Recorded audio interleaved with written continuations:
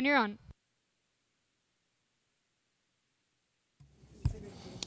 Good afternoon. Welcome to the City Council meeting. Today is Monday, April 1st, uh, 2024. It's approximately 1 p.m. I'm Mayor Enriquez. Uh, Before we start, I want to mention that we have a ASL, uh, American Sign Language interpreter, available for every regular council meeting, and she will be at the front for anyone who requires interpretation services. Uh, We will start with a moment of silence for the brave men and women of the United States Armed Forces as they protect our interests around the globe, as well as the courageous men and women of the Las Cruces Police and Fire Department as they keep our city safe 24 7, 365.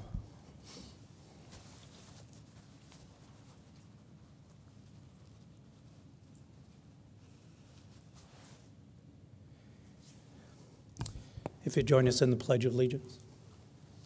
I Pledge Allegiance to the flag of the United States of America and to the republic for which it stands, one nation, under God, indivisible, with liberty and justice for all. Yeah. Next, we have a presentation of certificates, a proclamation that uh, Mayor Pro Tem Bencomo uh, for Distracted Driving Awareness Month presented to Barbara Toth. Is Barbara here?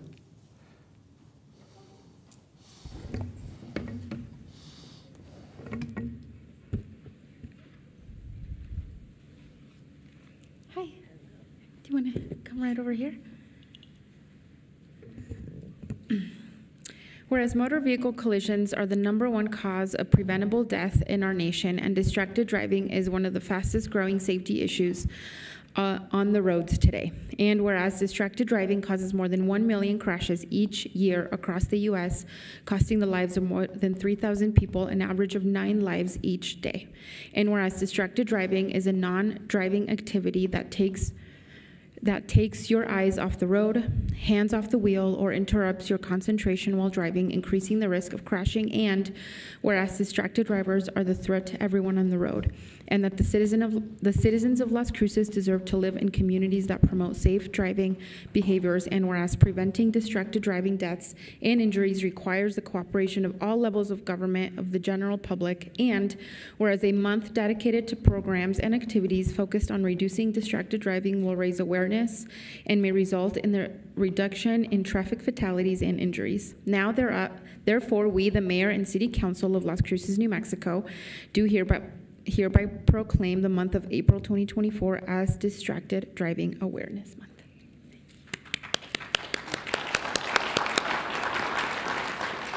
Thank you, Mayor and council members. Thank you so much. Distracted driving is an epidemic in our country. More than eight persons every single day lose their lives because of a distracted driver. And that's absolutely unacceptable, in particular, because those deaths were preventable. When a driver deliberately puts the lives of others at risk, it's both irresponsible and disrespectful and we certainly must do better. Thank you for thinking about those important things this month and beyond. I'd like to challenge each and every one of you to reevaluate your practices on the road. Decide to drive undistracted, please, every single trip. And share this message and model safe driving behaviors to everyone within your sphere of influence. Thank you.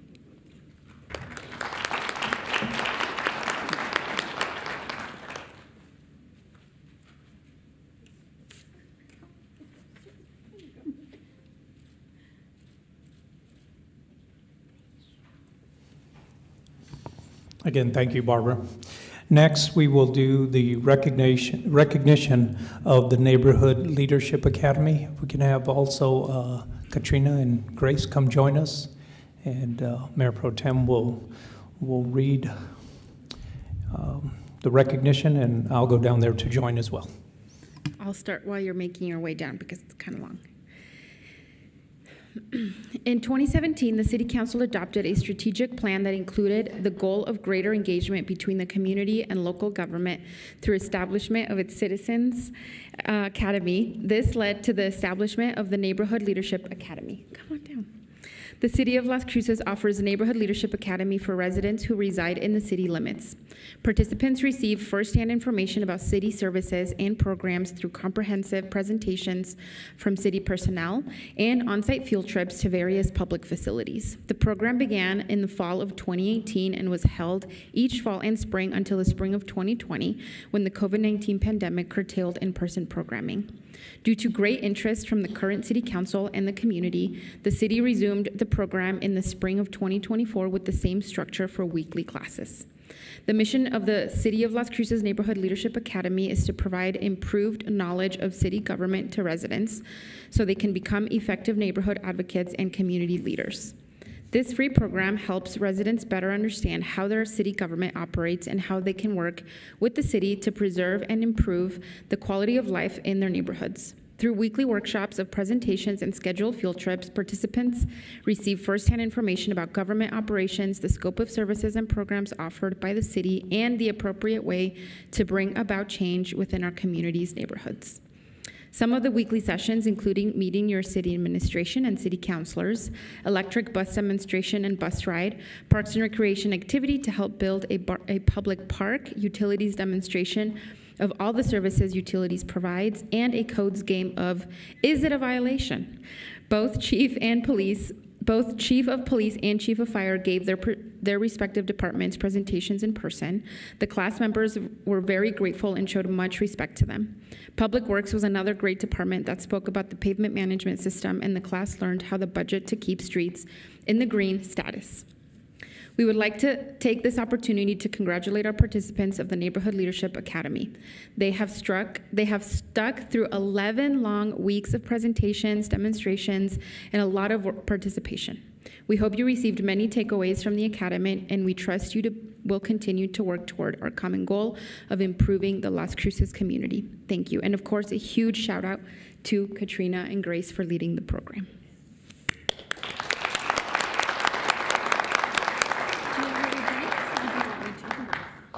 And these are the Academy graduates. I think if you want to come down and take a picture, please go ahead and do so. Maria Molina Countsman, Juan Garcia, Carolyn Hunt, Laura Jensen, Paul Mack, I hope I got that right, Joy Nelson, Marta Rodriguez, Diane Starbuck Ribaduo, Janine Townshend, Lisa Wilson, Santa Fe Zubia, Tylene Jacko, and Julia Ruiz. Give them a round of applause, everybody. You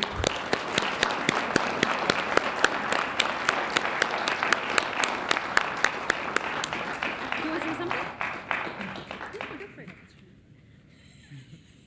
Did you want to say anything or not? No. No? Oh, okay. Oh, Let me just real quick, Jen. Uh, I just want to say that uh, there was a, a graduation ceremony for them earlier at 11 o'clock where all the certificates were presented to them. And there was staff that was also there that, that provided presentations on this 10-week journey that they went on to, to learn and, and to know more about the city of Las Cruces and its organization. Again, I want to thank the participants. Thank you for your time, your energy, your effort uh, to make the commitment to see it through and to graduate. So thank you. And uh, thank you to, again, Katrina and Grace for coordinating it and putting it together. So thank you. Thank you all.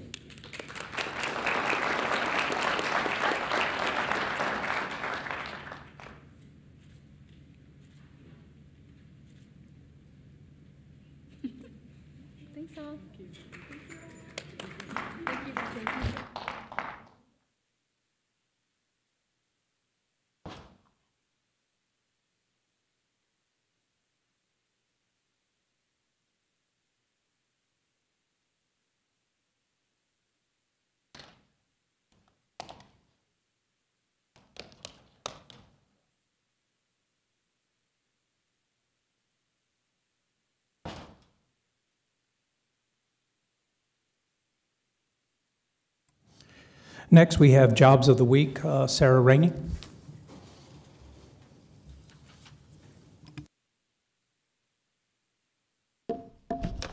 Good afternoon.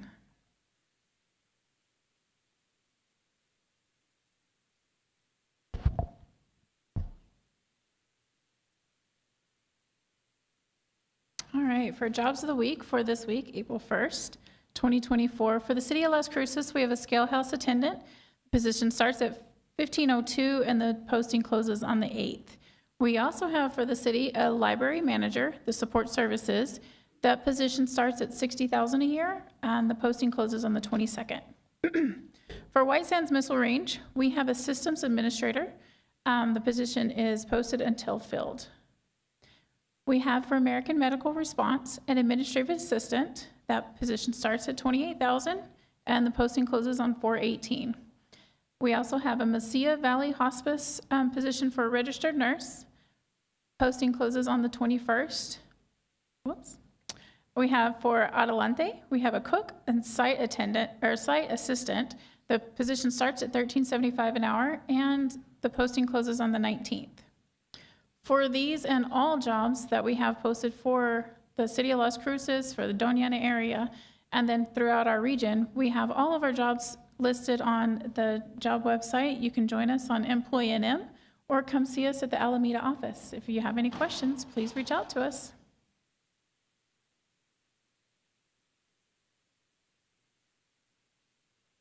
Thank you. Thank you, sir. Next, we have Pets of the Week, Amy DeFelix.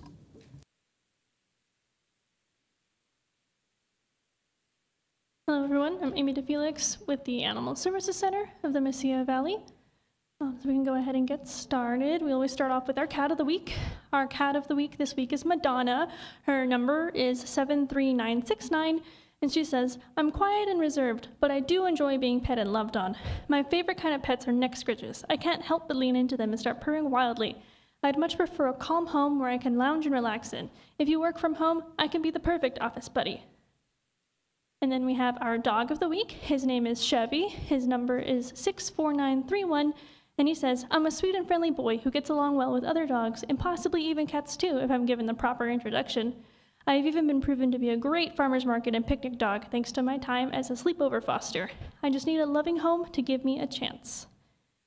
And then for our events coming up, um, we have all, all month long, starting today until the end of April, we have our spring fleeing adoption special. All of our adoptions are only $50, so that's both altered and unaltered animals. Um, we also have an offsite adoption event at McCoy's Building Supply this Saturday, April 6th. We will be there from 10 a.m. to 1 p.m. And then all of our website links, our, our main website, ascmv.org, all of our social media links, we're on Facebook, Instagram, TikTok, and then our podcast is on YouTube and Spotify and Apple Podcasts as well. And that is all I have. Thank you. Thank you, Amy.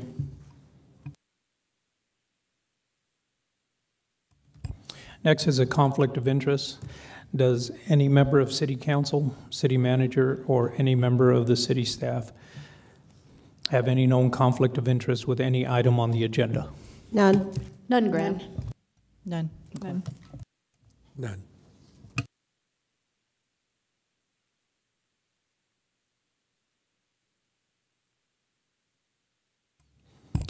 Next is public participation. Uh, Will allow up to three minutes, uh, as long as it's no discussion of items that are on the non-consent. And I want to make a, an announcement uh, before we start the, the public participation. Uh, I've been made aware that the New Mexico Municipal League has an evaluator that come and evaluate uh, your city council meetings. And this is a direction I want to go. I've always wanted to run a good uh, meeting, a good business meeting for for the city council and our work sessions.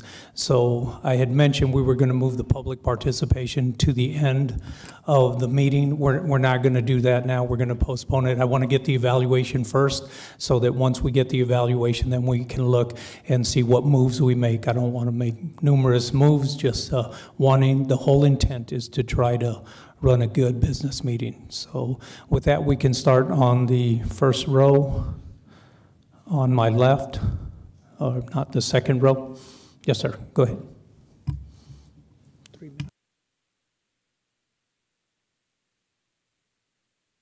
Good afternoon. Uh, My name is David Rutherford. Uh, I have a couple issues. The first one is uh, the water issue, uh, which I think should be on on the top of the list. I live in Sonoma Ranch Road, and it's the Moongate Water District, I believe, right? I have that correct? I think it is, yes. So I was told that uh, we've got 200 years worth of water. Um, and I tried to do a deep dive, so to speak, um, on the internet to try to find out if that was accurate or not.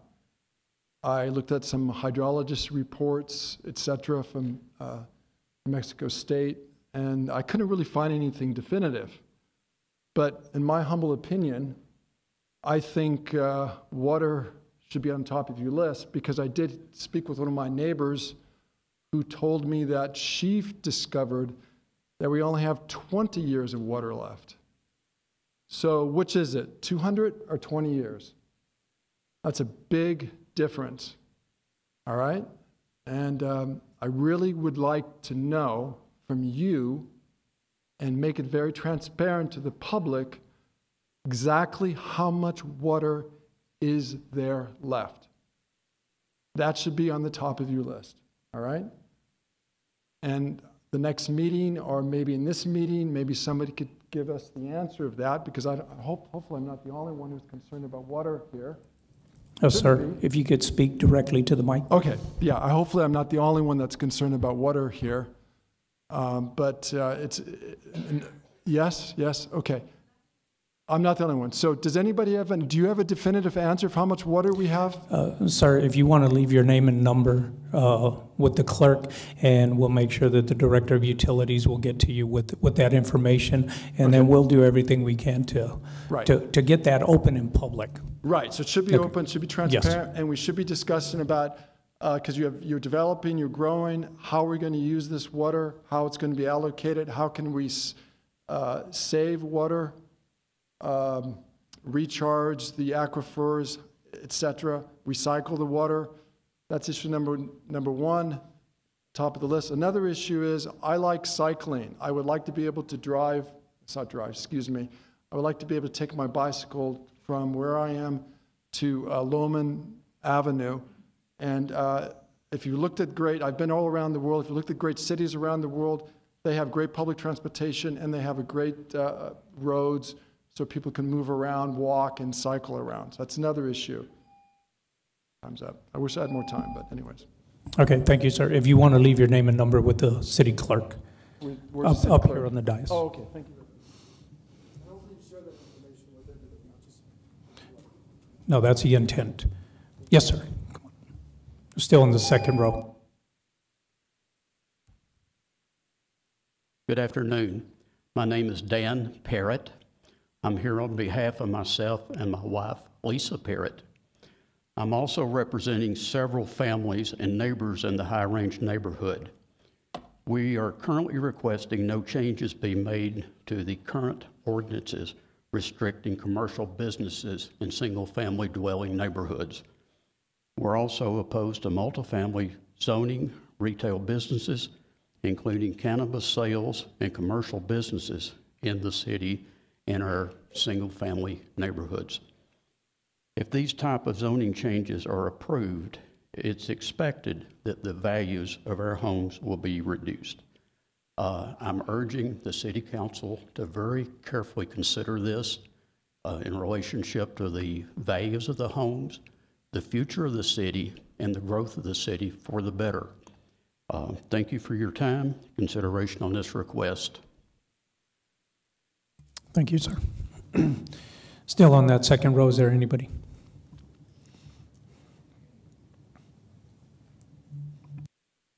Hello.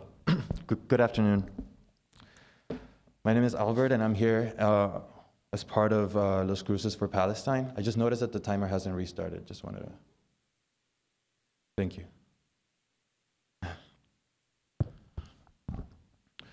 So, as we gather here today, I urge us to confront the stark realities unfolding in Gaza. Since October 7th, Israel has unleashed over 25,000 tons of explosives upon Gaza. This is equivalent to the devastation levels brought on by two nuclear bombs. To put things into perspective, Gaza is 27 times smaller than Doña Ana County and holds twice the population. It is vital to recognize the disproportionate impact of violence inflicted upon its inhabitants. We're actively funding and supporting a genocidal campaign of collective punishment as Israel continues killing Palestinians at unprecedented rates while bombing hospitals, ambulances, and universities, reducing them to rubble. Palestinians are dying in their homes, churches, and their shelters. As of today, most civilian infrastructure in Gaza has been flattened and rendered uninhabitable. These relentless bombings have not only claimed innocent lives, but have also shattered the pillars of Palestinian history and stifled the educational opportunities for future generations, robbing Palestinian peoples of their heritage. The toll on human life is equally appalling. Over 309 healthcare workers, including doctors, nurses, and ambulance drivers, have been killed while serving their communities. At least 352 schools, representing over 70% of educational institutions in Gaza, have been targeted and bombarded, claiming the lives of over 200 teachers and educators. We're accountable for the future we forge ahead. I have four nieces and two nephews. Oldest one turns 15 today. When I look at them, I feel an enormous amount of responsibility. I want nothing more in the world than to be able to provide them with a safe space. I want them to know love, compassion, and unity. This aspiration is shattered when I consider the 13,000 Palestinian children who have perished in Gaza due to Israeli attacks. When I think of them, I feel an enormous amount of responsibility too. The average age in Gaza is just 18 years old. About 40% of its population consists of children 14 years old or younger. The constant fear of airstrikes, the loss of loved ones, the destruction of their homes, deliberate forced famines, and human rights violation under Israel's siege will leave psychological scars that will shape their lives and the future of their communities. We can't be complicit in creating a reality in which we turn a blind eye to these atrocities. The consequences of our inaction will echo for generations to come. Therefore, I urge this council to take a stand against the injustices being perpetrated in Gaza and demand an immediate ceasefire.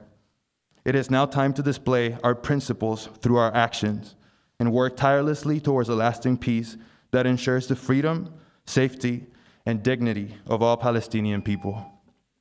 Thank you. Thank you.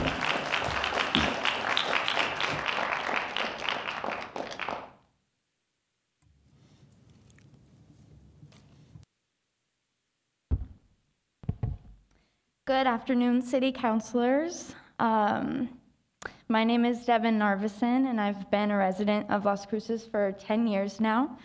And I'm here today to speak on behalf of Las Cruces for Palestine.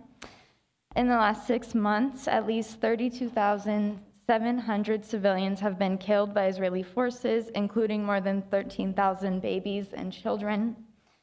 We know that the actual death toll is much higher given that there are more than 8,000 people currently missing under the rubble. So far, 27 people, 23 of them children, have starved to death due to the blockage of aid by Israel. This is intentional, man made famine. When one side controls whether the other gets to eat or starve to death, it is not a conflict nor a war, it is genocide. I know that some folks in this room are thinking, why should I care? Or what does that have to do with me or the city of Las Cruces? And to that I say, you are human beings, and your fellow humans are being starved and massacred, and you should care about it. If this were happening to you, I'm sure that you would want people to speak up for you. I urge all of you to look within and find your humanity. Some people may think we need to focus on the issues happening here and help Americans. And to that, I have to say, I agree with you. Every single year, the U.S. sends $3.8 billion to Israel to fund its violence against Palestinians, to steal their land, destroy their homes, and kill their people. That's more than 13 million of New Mexican tax dollars, or 1.6 million dollars um, of our Las Cruces tax dollars every sorry every single year. According to the U.S. Campaign for Palestinian Rights, that money could provide 191 Las Cruces families with public housing for a year, more than 500 children with free or low-cost health care, more than 4,500 homes with solar electricity, or even completely cancel the student loan debt for 42 Las Cruces students. So just imagine what $3.8 billion um, a year could do for communities across the country instead of funding the slaughter of innocent people. Not only as elected officials, but as human beings with a conscience, I am calling on you to use your power and your influence to call for an immediate and permanent ceasefire. It is estimated that 130 children are killed every day. More than 10 children lose a limb every day. So it's imperative that we act now. Thank you for your time. Free Palestine.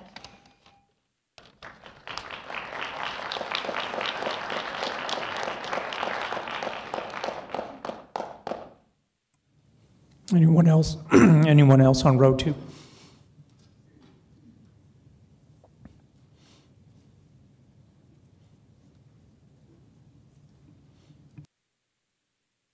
Hello, I'm Gwen Stacy, and I am also with uh, Las Cruces for Palestine. And I just want to be upfront with what we want. I'm sorry, what's your name again? Gwen Stacy. so, what I want is for Las, the city of Las Cruces to support a ceasefire resolution um, for Israel and Palestine. And it is for a few reasons. The first is that, of course, there is a massive amount of civilian deaths and casualties, but in addition, there is another commonality that it has with other countries, like Ireland, China, and India, and even many tribal nations of the United States, and that is that there is an imminent danger of a famine in the region. However, in this case, it is exceptional because it is not only a famine, it is a preventable one that also includes massive amounts of violence and conflict in the area. Without a ceasefire resolution, it is very likely that lots of aid trucks will continue to be blocked in the area, that all kinds of people will be starving, almost 1.4 million civilians dying from malnutrition, and we've already seen what has been happening with um, malnourished mothers and babies being born in the area. So we, I feel that it is the responsibility of the Las Cruces City Council to join other cities in the United States in supporting a ceasefire resolution. Thank you.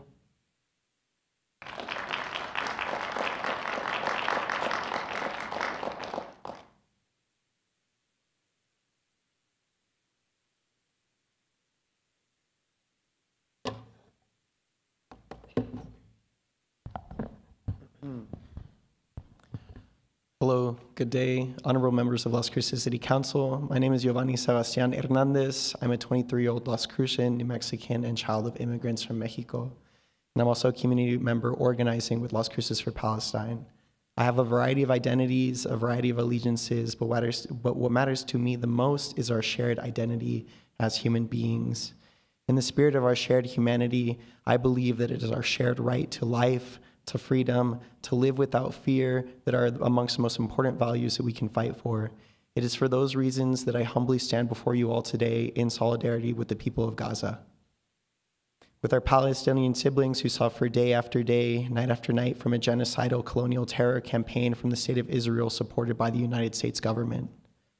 Silence and inaction is nothing more than shameful complicity with the genocidal and colonial aspirations of Israel and those of our federal government.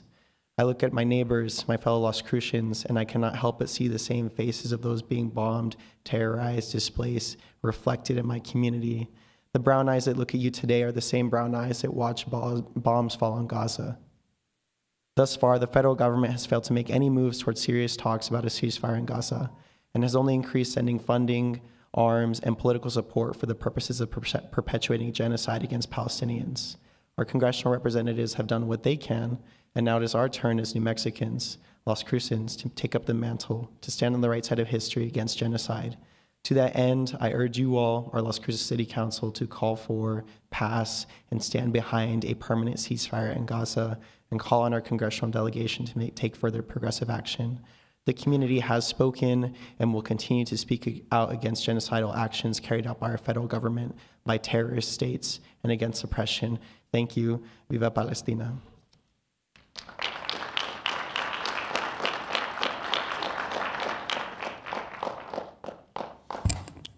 Okay, anyone on the third row on my left? Yes, ma'am.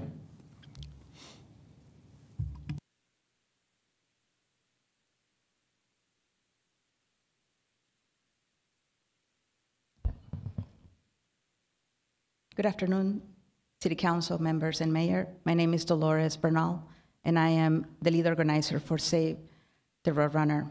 Save the Roadrunner is a new grassroots, nonpartisan organization in Las Cruces looking out for residents and the wildlife displaced by unchecked development and construction in our city. Learn more ab- about us at savetheroadrunner.org, savetheroadrunner.org. I'd like to present a short photo montage of bird species that Dana Parsons, one of our members, has observed in the 56 acres plan for the Moravilla Dam and Apodaca blueprint projects at Triviz and Madrid avenues.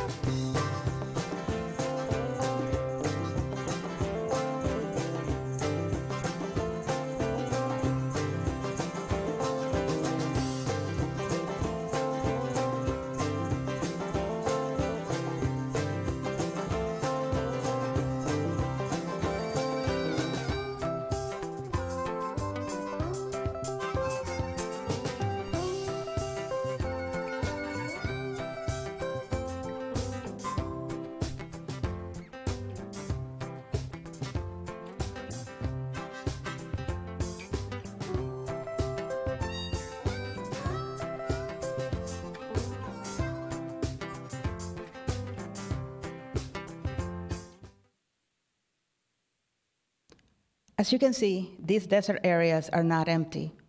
There is abundant wildlife that calls those 56 acres home. And our group is asking that you review these projects and the scale of construction that will displace the wildlife that lives there. We need environmental impact studies done for these projects and all future projects in Las Cruces. Protecting wildlife is also your mandate. Thank you.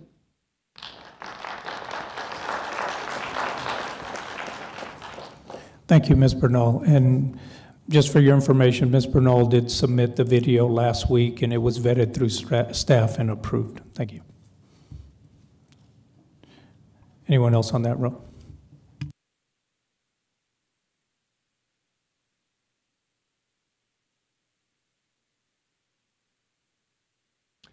Hello.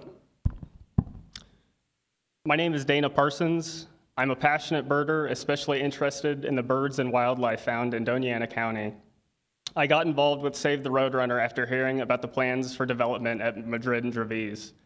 I am concerned with how recent development is affecting our natural habitats in Las Cruces. development that has already aided in displacing species like the burrowing owl, which used to be prevalent in the city and is now gone. I visited the area around Madrid and Treviso recently. Over seven days, collectively walking around 10 miles, over nine hours, I found that this area is more than what it appears. It is a very unique and diverse ecosystem. In addition to the 25 species of birds, there are mammals, reptiles, many native plants, including cacti, yuccas, trees, grasses, some only growing in water channels going through the area. There are wildflowers and native pollinators such as bees, butterflies, and moths, which aid in the production of our natural resources. Raptors like owls and kestrels that control the local rodent population. I'm worried and concerned that the city is not taking the proper precautions to protect its natural habitats and is not aware of the unintended consequences of developing some of these areas. Thank you.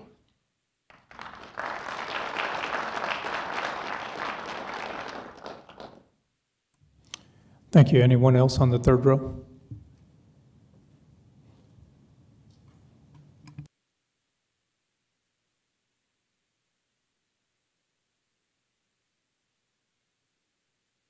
Good afternoon. I'm Spencer Taylor, lifetime Las Crucean, NMSU Master of Fine Arts, professor at NMSU and DACC, family visitation supervisor for Kaplan and Associates, former freelance writer for The Sun, covering community events. So please know I speak to you from a perspective rooted in deep personal care and investment in our community. For over half a century, Palestinians have been marginalized, killed, displaced, and robbed in a process of a settler colonial project similar to colonization inflicted on indigenous peoples of the Americas, including in New Mexico. The colonization inflicted on Palestinians is rooted in the anti Semitic politics of Zionism, with the express goal of expelling Jews from Europe. Zionism fails to justify the illegal occupation of Palestinian lands by the state of Israel as it displaces Palestinian people in the West Bank via illegal settlements while enforcing merciless border policies on Gaza that for decades have prevented material necessities from entering Gaza and has prevented civilians from leaving. Experts call Gaza the world's largest open-air prison and the world's largest concentration camp. From over 20 from October 2023 to this minute, Israel has with support and billions of dollars from the US massacred civilians using modernized weaponry, bombs and drones, killing over 32,000 innocent civilians, over 12,000 children.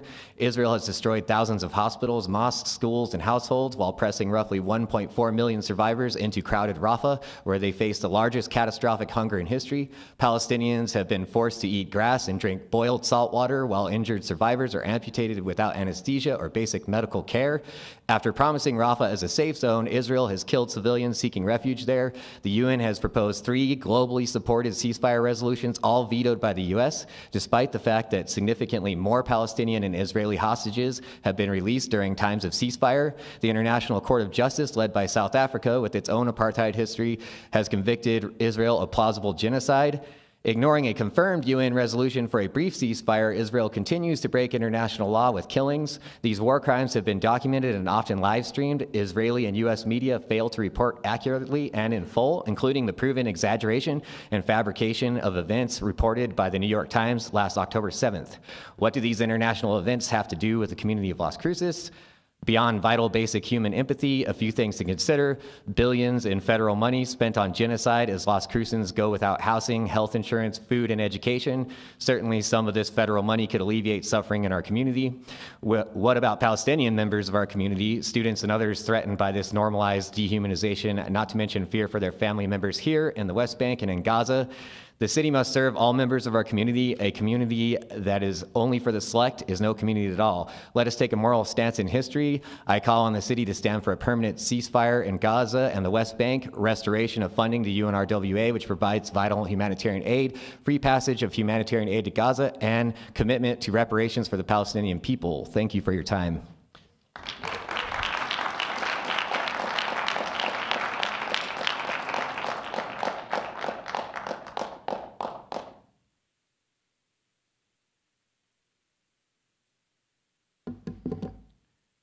Good afternoon, Council.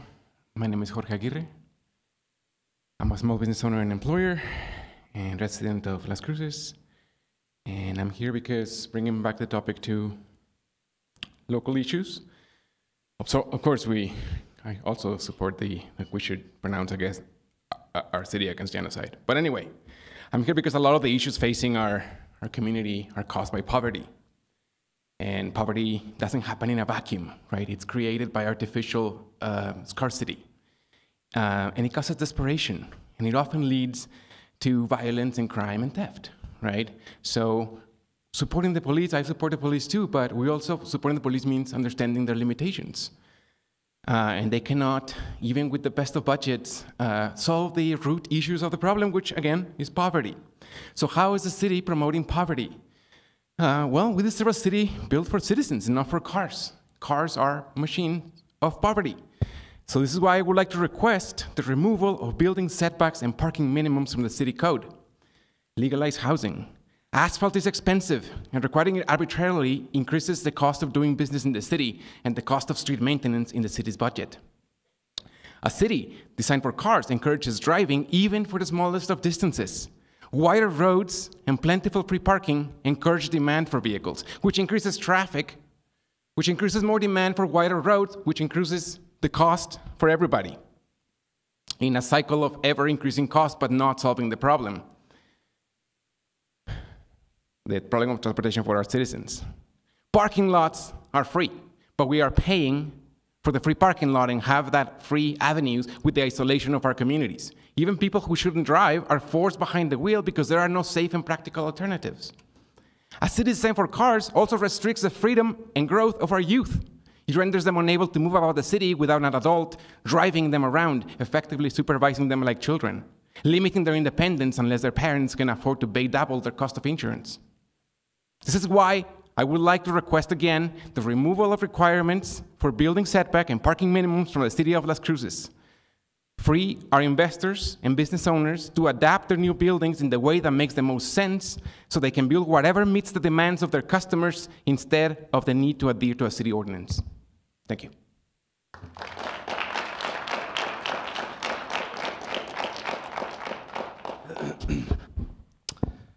Good afternoon, Council, uh, Mayor. Uh, my name is Israel Chavez. I'm a civil rights attorney here in uh, our fair city. Um, couple of things I, am very proud of the group that's come out. I, I would uh, assert to the Council and to the Mayor that probably the majority of our community, at least in my experience, believes everything you're hearing. Um, while my name is Israel, I'm, my namesake is not the country, and I don't support uh, what's happening in the Middle East. And I do think that all politics are local, and we all have a role to play in the betterment of the world. If you don't believe that, you wouldn't be sitting on this dais. And if you are sitting on this dais, then you also have a role to play in condemning what's happening in the Middle East.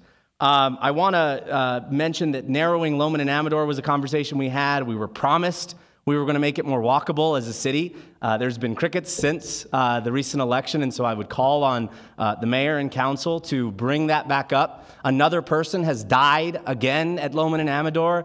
Um, I don't want it to be one of us, and so please, please, please make it more walkable. Please make it accessible. Um, I also want to address uh, in my office, I've gotten quite a few more. Um, civil rights uh, issues from the city. Uh, I know Attorney Samples has probably seen my name a couple more times more recently. I'm, I want to, in no uh, uncertain terms, condemn the uh, anti people, anti struggling people sentiment that seems to be. Uh, uh, emanating from certain levels of the city, um, we should be anti homelessness. We should want to get people housed. We should not be anti people. And that's what I'm seeing. I'm seeing contractors of the city, that security force that you pay for downtown, I'm seeing really egregious conduct. I'm seeing mistreatment of people who are perceived to be homeless. And look, I, I live here. I don't want the city to have to pay through all these lawsuits, but I have no, I, make me unemployed, please, fix the problem. Uh, lastly, I want to condemn the expensive private studies that the city continues to pay, like the lights in the Mesquite district. Now we have to pay a half a million dollar study to put in lights. Come on, it's a waste of money. You have so many staff internal, and you and, and previously, and I say you, it's sort of the royal you, nobody in particular. Um, the city had said that they were going to use internal people, and now again we get told, oh well, it's going to cost a half a million. We only have like 600 grand for lights. And I don't know who these out of state folks are who keep getting paid so much money, but you can ask the community, and the community will tell you where the lights need to be. We walk the streets, we get harassed by folks and city employees sometimes in the streets of our own community. We'll tell you where the problems are. Just listen and do not move public comment to the end of city, city council because that seems to me that it, it shows what the city thinks about public comment. So I appreciate all your work immensely. I'm happy to ta- meet with any of you whenever you'd like. My office is just across the street.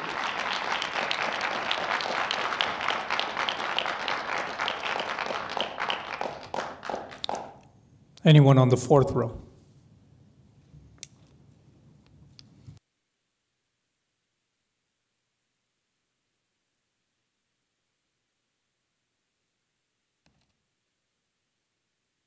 Good afternoon, Mayor and City Councilors. My name is V. Quevedo. I'm a resident of Las Cruces in District 1. When I was thinking of what I should say today, what would be the best thing to say, I decided um, that nothing would be more important than what Palestinians are saying. I'm here with Las Cruces for Palestine to ask our City Council for a ceasefire in Gaza. So I'm going to use my time to quote Palestinian attorney Lara Elborno's words from a December 13th interview when asked what was the worst day. Quote, Every day has been the worst day. Israel outdoes itself in brutality and destruction every day, so every day is the worst day. The day that Yoav Gallant called Palestinians human animals and announced that we would be denied food, water, fuel, and electricity was the worst day. The day Israeli officials announced that they were rolling out the Gaza Nakba was the worst day. The days Israel sieged and raided Al Shifa Hospital, bombed the maternity ward, and bombed the outside clinic was the worst day. The days that media outlets confirmed one by one that Israel was lying about Al Shifa's hospital, but it was too late because the damage was already done, those were also the worst days. The day Israel dropped six one ton bombs on the Jabalia refugee camp, killing hundreds of civilians, was the worst day. Every day has been the worst day because every day is the worst day for families in Gaza, and we are, as a community, every day grieving every act of brutality as an act on us and our families. The stated aim, time and again, has been nothing short of genocide, and therefore the target is Palestinian life itself. So every day has been the worst day. Now, in the months since she gave that interview, we reached a day where the number of children killed by Israel in Gaza passed 10,000 children. And that also belongs on the list for the worst day. And yesterday, Israel ended another two week siege on Al Shifa Hospital, which constitutes 30% of the healthcare in, in Gaza, killing over 300 patients, doctors, nurses, refugees, children. So, yesterday was also the worst day. I'm also here to provide additional signatures to our ceasefire petition. On March 4th, Las Cruces for Palestine delivered 352 signatures to this council. Today, we have an additional 56 from Las Cruces residents who I can turn into the clerk. The text of our petition mirrors the asks and resolutions passed in over 50 U.S. cities. We're asking to bring the United States into compliance with international law and basic human decency. As of day 178 of this genocide, Israel has killed, as you've already heard, over 32,000 Palestinians, including 13,000 children, has injured another 76,000 Palestinians, and has kidnapped, tortured, and is still imprisoning over 7,000 Palestinians. We here in the United States have a responsibility to do everything we can to stop this. Thank you.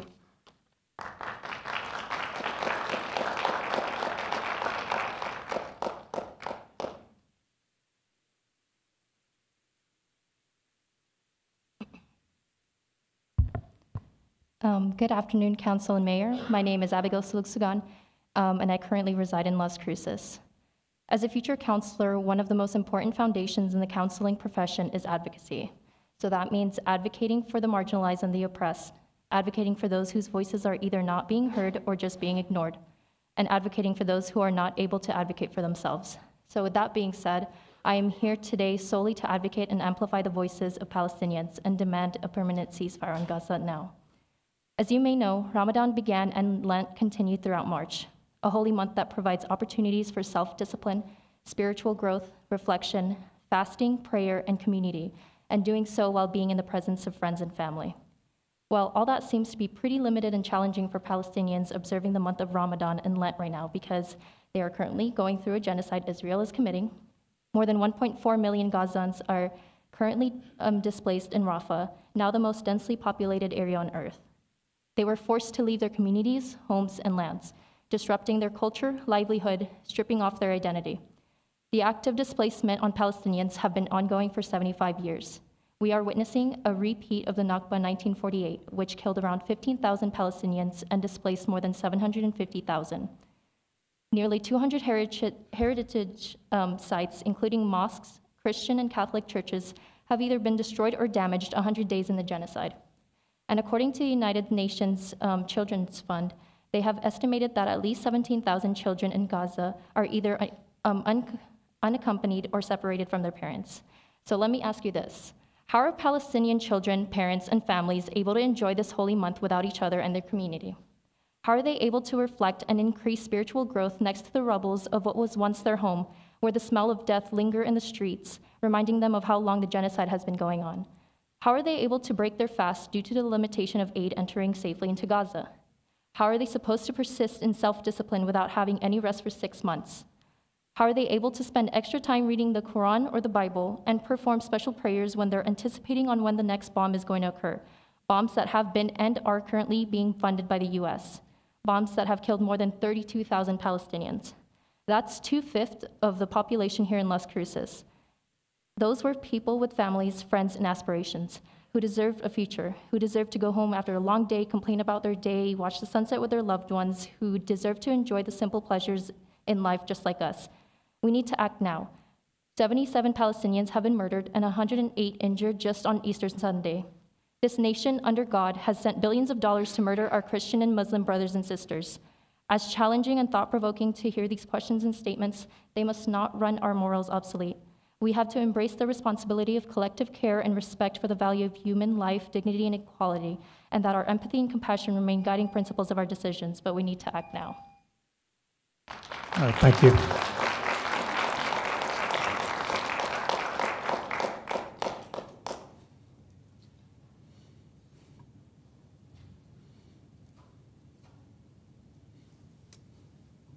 Good afternoon, all. My name is Anna Chi, and I'm here as part of the group Las Cruces for Palestine. You all are sitting here right now after a night of rest in your own warm beds. You might have even had breakfast or lunch. Multitudes of people and families in occupied Palestine are not so lucky. A huge part of the city you represent is a community serving institution, New Mexico State University, which has many locations throughout our state. It is an integral part of our life here. I'll remind you now that NMSU is a minority serving institution in our land of enchantment. Please show your humanity by voting to pass an immediate and permanent ceasefire resolution on behalf of our wonderful city. Do you stand against genocide? Do you support the minorities in your community, both local and global? I urge you to take a firm stance against the brutal terrorism and genocide perpetuated by the terror state of Israel on innocent Palestinian lives for what has now been generations upon generations. Look inside yourselves, inside of your souls, as people who share this earth with other human beings. Please pass an immediate and permanent ceasefire resolution on behalf of our city. Be on the right side of history. Viva Palestina. Thank you. Um, I believe we're still on row four. Okay, row five. Row six. Row seven. Come on down. You know the drill.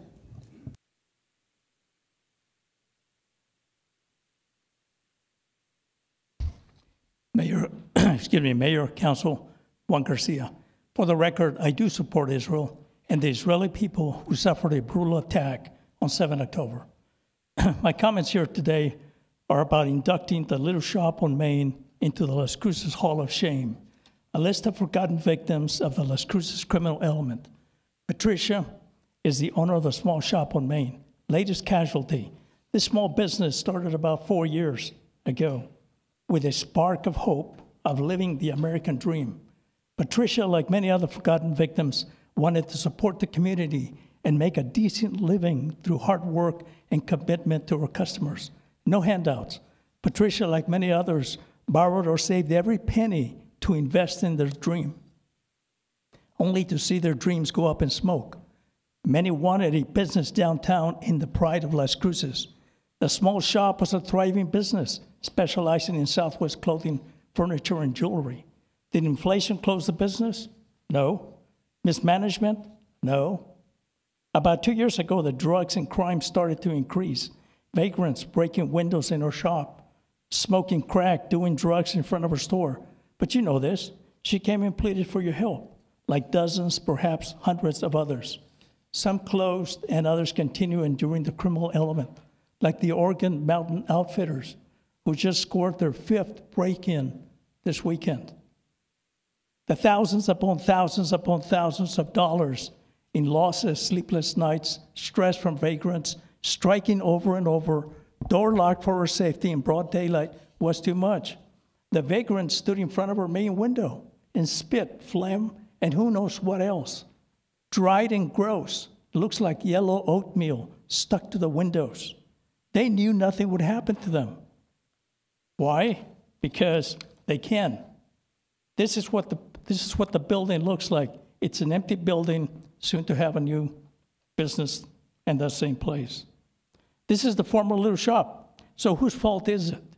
The council? No. You guys have done all they can do. LCPD? No. They can only enforce the laws on the books. Our state elected officials who are coming up for reelection, the same ones who never raise a finger to help because if an issue is not a priority, like banning plastic bags or providing free tax dollars to pregnant people, no, the fault lies at the feet of every one of us. Doña Ana citizens continue to elect state officials who are not interested in public safety. So the question remains ¿Cuánto más? How much longer are we going to take this? Thank you.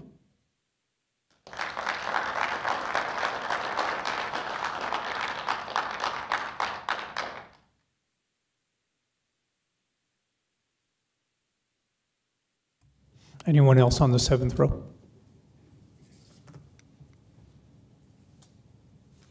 On the eighth?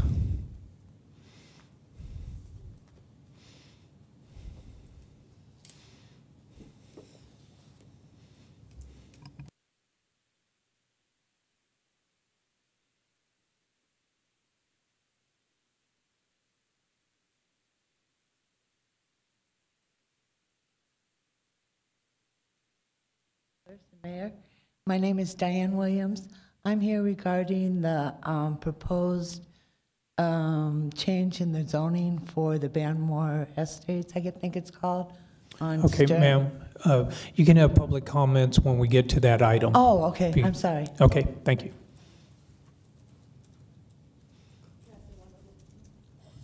Yeah, go ahead. Kudos to Cassie McClure. Um, she's not, I'm not in her district, but I stumbled across her on Facebook and really appreciate your efforts to inform the citizens and help us understand the complexities of how the city works. No, thank you.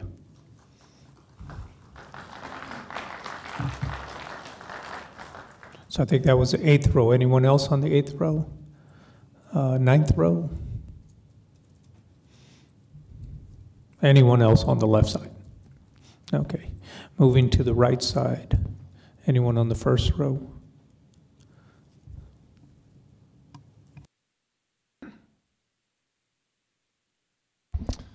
Good afternoon, Mr. Mayor, um, city councilors.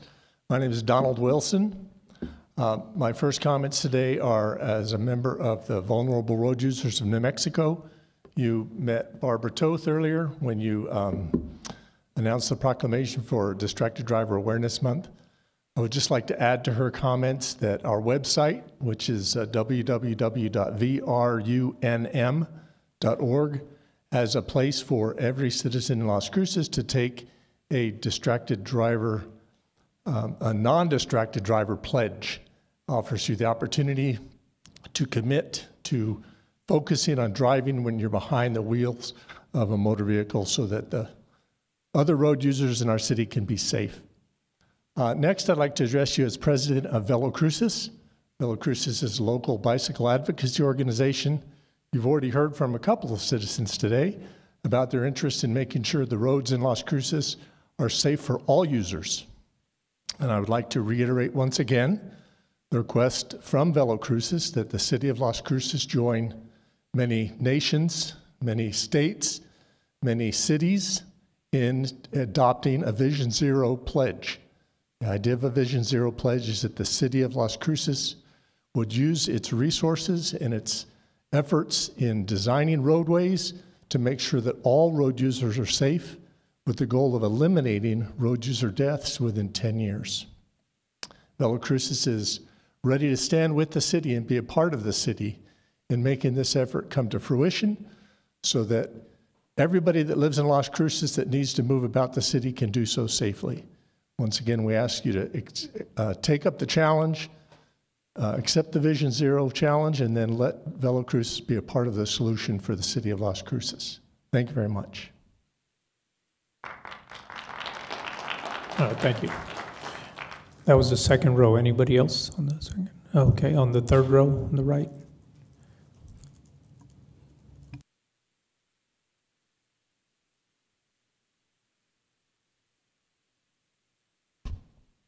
My name is Blaze Gunderson.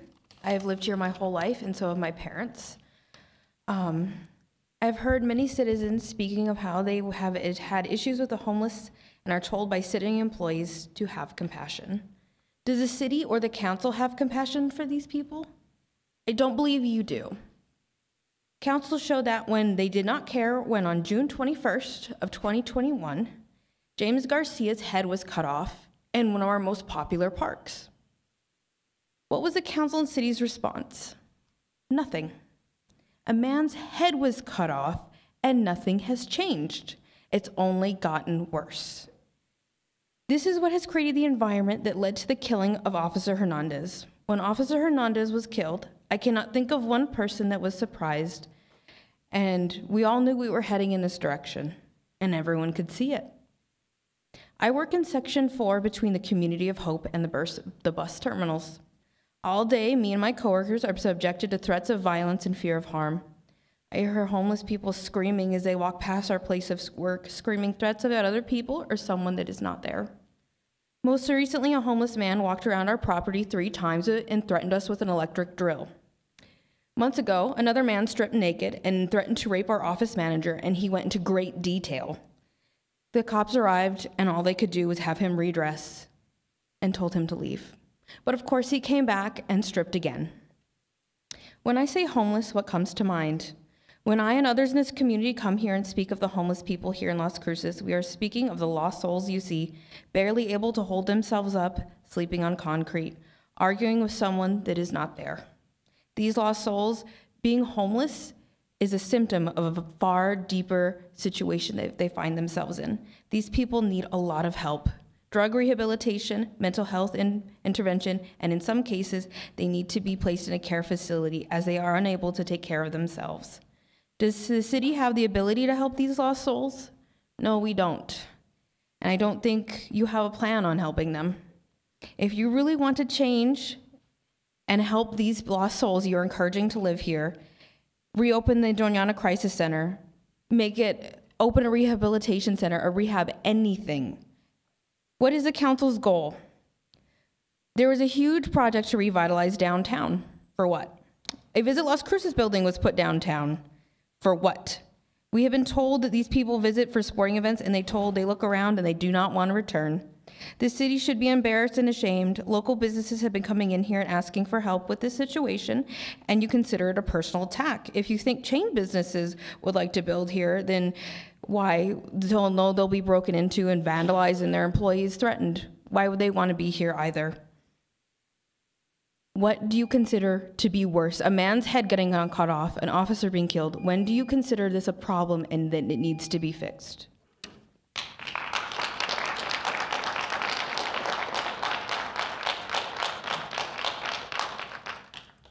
Okay, that was the third row. Anyone else? The fourth row.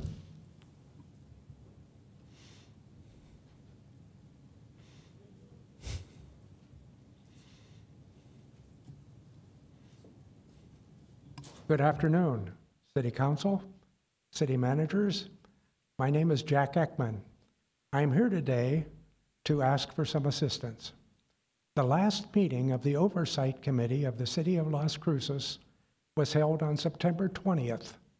of 2023. So we have missed meetings in October, November, December of 2023, January, February, and March of 2024. And I have a stake in the ordinance, the Accountability and Govern- Government Ordinance, uh, number 2881. Uh, We're in default of that ordinance at this time. I'd appreciate your assistance. I'm the only voting member left, and I have not resigned. I don't know if I've been removed or not, but I have not resigned. We need two more voting members. I understand two non-voting members have been appointed by this council, two city councilors. And so I very much am just looking for communication. I'm just looking for what is going to happen next or what are the thoughts, the policy thoughts of city council on this. As you direct the policies of the city and the ordinance being one of those, I have to assume that uh, you'll, you're doing something about this or you're about to do something about this. We need a voting member from the law community and one from the accounting audit committee. Uh, on September 20th, two of our voting members resigned for different reasons. And I am very much looking for direction and what you would have me do, because I stand also as a servant of the city. Thank you so much. Thank you, sir.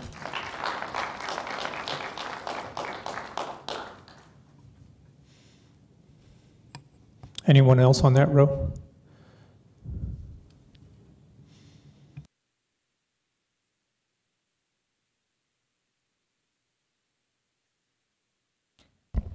Hello, my name is Dylan Davis. Um, I am a mother of three beautiful children, two of which are twins. My twins were born at 29 weeks gestation and weighed only two pounds at birth. I'm not sure how many of you have witnessed the fragility of a premature baby, but it cannot be overstated. Preemies require very special care, a specific temperature provided by incubators, feeding tubes, and an oxygen supply.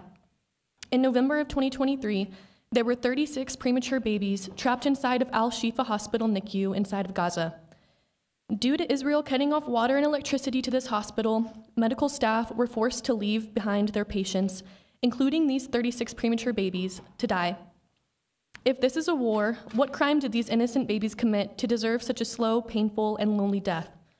Early this morning, Israeli troops withdrew from this same hospital after two weeks of total siege. What they left behind is a scene of utter horror and devastation. The few living journalists that remain in Gaza are reporting a gruesome nightmare that is their reality. Israeli forces executed 300 people, including doctors, surgeons, and patients of this hospital. Hundreds of bodies surround the medical complex, many of their hands and legs tied behind their backs, completely flattened by a bulldozer. Every single square inch of the hospital, which was older than the state of Israel and once constituted 30% of the healthcare system in Gaza, is completely torched and destroyed, including the bodies of these 36 premature babies. The damages are irreparable, and the complex, along with all of its equipment, will need to be rebuilt from scratch. There is no need for this level of devastation, and it is almost completely funded by American taxpayer dollars. New Mexico is one of the 33 states that have cooperative agreements with Israel. In the last few months alone, the U.S. has spent $18 billion to fund Israel's genocide against the people of Palestine. I would like to request the representatives of our city to introduce a resolution calling for an immediate and permanent ceasefire and an end to the mass destruction in Palestine. Our resolution, along with the resolutions introduced by cities and towns across the country, has the capability of making a real, tangible difference and saving countless innocent lives. Thank you for your time.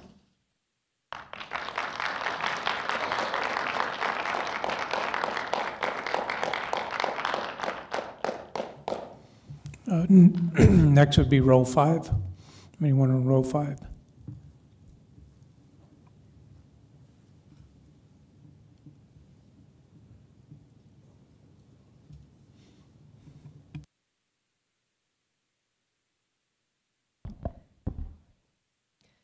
Good afternoon, all. My name is Elizabeth Bennett. I am an alumni of the Public Health Social Work program at NMSU and a proud member of Las Cruces community. Even though we are a big little town tucked away in the dusty desert of New Mexico, we have made history in a lot of meaningful ways. not afraid to do the right thing even when it's unpopular or unheard of in other parts of the state or nation. As a local community, we are strong, and as a global community, we are mighty.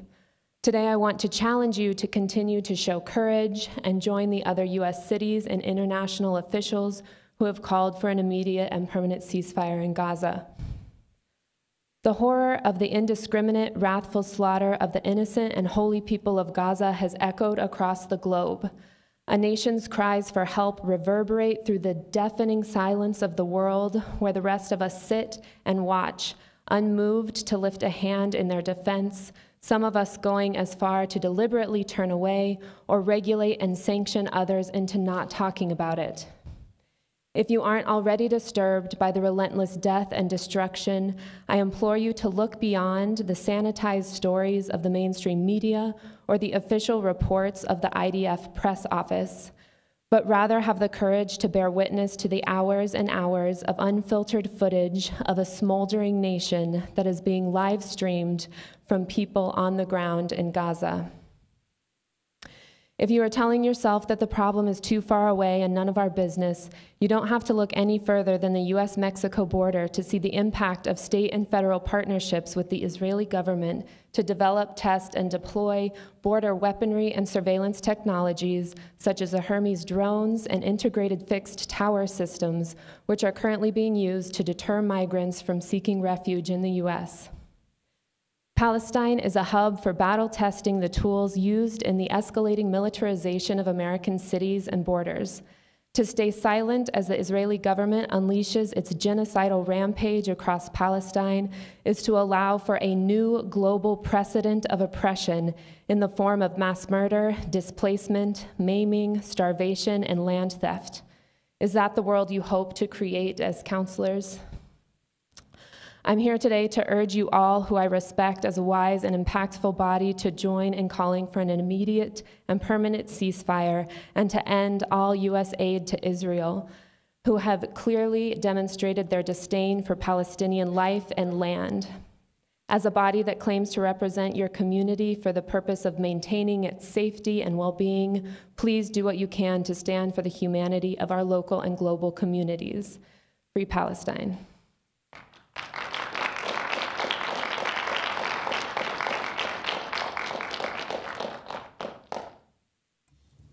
Anyone else on that row? And uh, sixth row?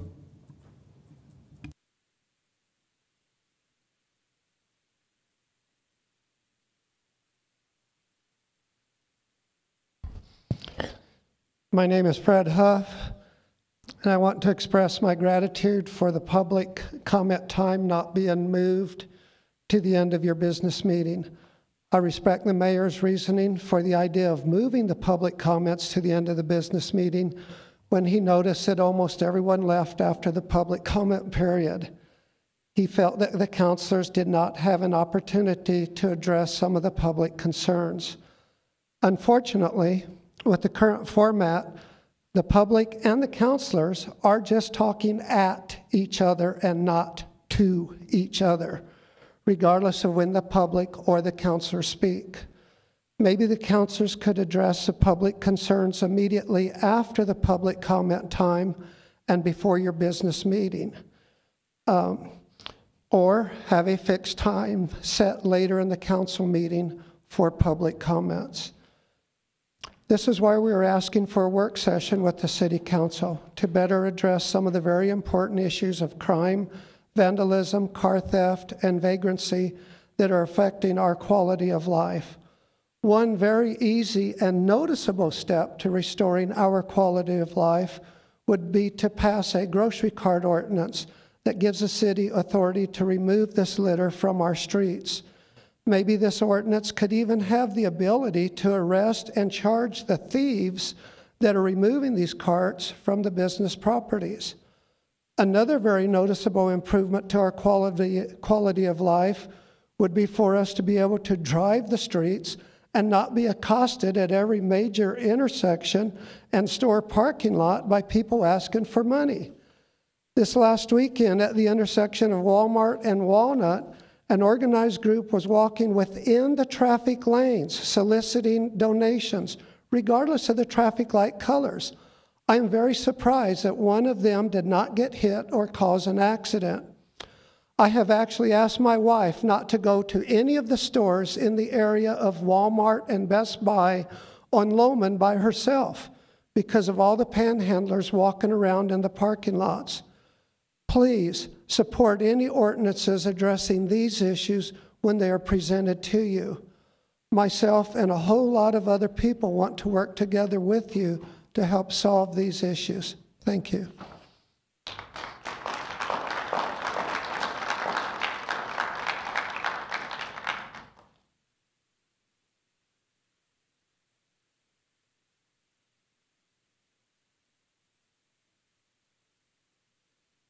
Good afternoon, Mayor and Council. I'll be brief today. In fact, I was going to say I only had eight seconds left. No, if you could just state your name for the record. Henry Henry. Young.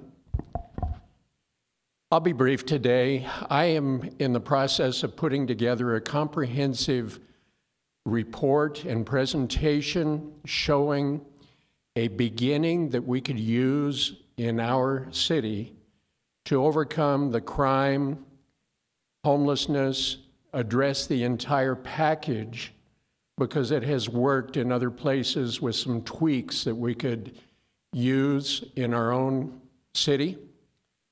And I would be ready if we, when we have a task force assigned to that, to make a presentation to council or anyone that wants to listen.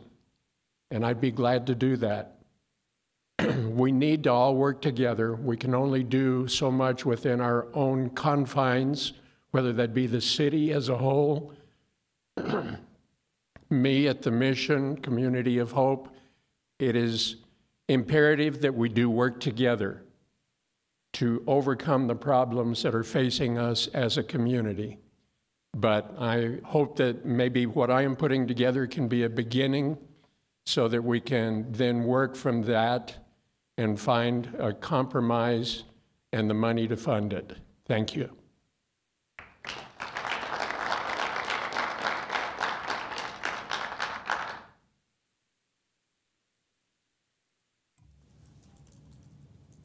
Anyone else there on the sixth, uh, seventh row?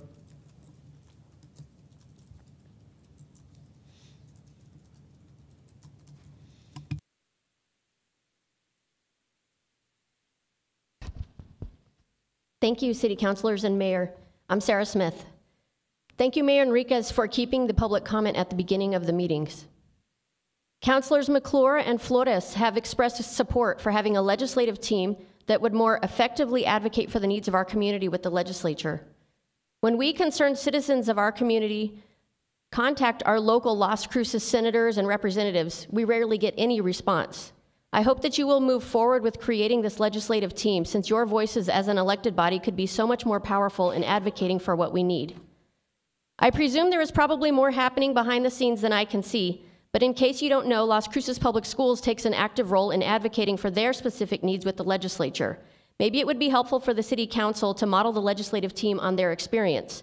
For instance, Las Cruces Public Schools has a legislative forum where they meet with legislators to discuss what is needed. They also participate in the interim committee meetings of the legislature. Those committee meetings will be starting on July 17th this year in preparation for the 2025 legislative session. From monitoring the bills proposed during the last couple legislative sessions, there were quite a few that had the potential to help our crime situation in Las Cruces. Our Las Cruces representatives and senators generally voted against these bills, but maybe if you show support for them, things could be different. I'm going to follow up with an email to all of you as well as Chief Story with a list of some of the bills you might be interested in advocating for in the next session. These include bills that you have mentioned supporting already, such as changing the bail reform laws and addressing incompetencies so that we can stop the catch and release of many repeat offenders in Las Cruces.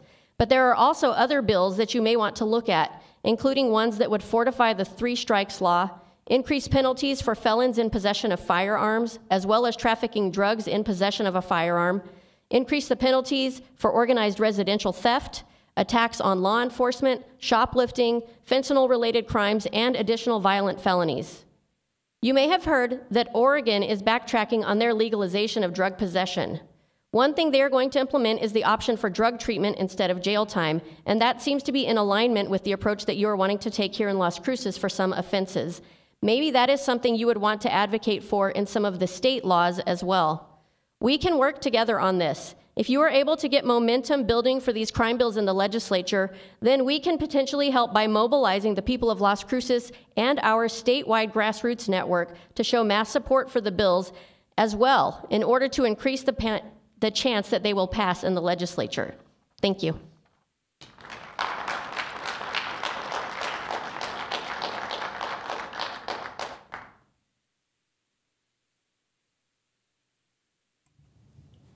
Anyone on the eighth row? Ninth? Anyone else? Okay, thank you. Thank you all.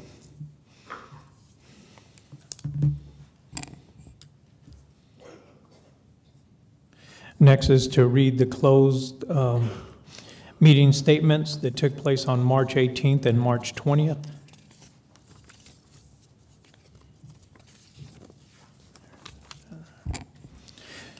So Las Cruces City Council met in closed session at 11 a.m. March 18, 2024. The following members were in attendance. Mayor Enriquez was via Teams. Uh, Councilor McClure, Councilor Mattiace, Councilor Graham, Mayor Pro Tem Bencomo, Councilor Corran, Councilor Flores. Uh, staff were present were Joe Richards and J.C. Borrego from Human Resources. The meeting adjourned at 12:43. Uh, Mayor Enriquez left at 12:19. Statement for the record. The Las Cruces City Council met in closed session and only discussed those limited items as stated in the posted notice.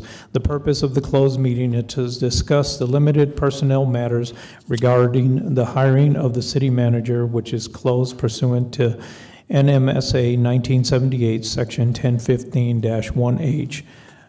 2.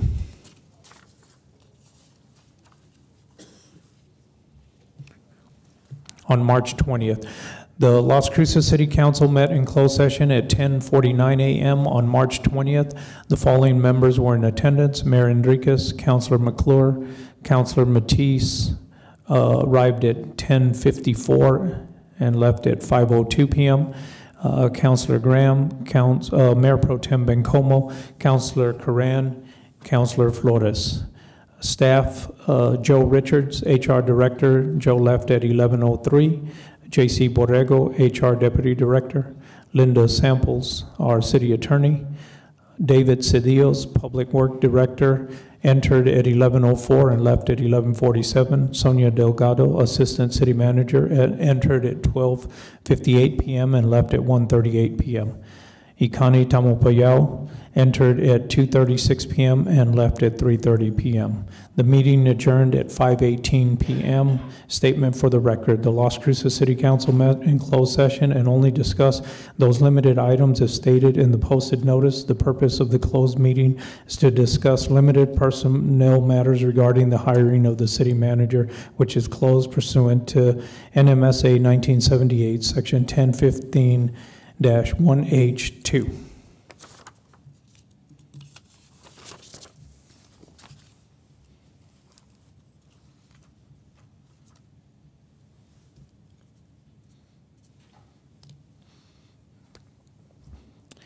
Next, uh, the acceptance of agenda. Move to approve, Corran. Second by Flores. This is on the motion to accept the agenda as presented. Councilor McClure? Yes. Councilor Mattiace? Yes. Councilor Graham? Yes. Councilor Corran? Yes. Councilor Flores? Yes. Councilor Bencomo? Yes. Mayor? Yes.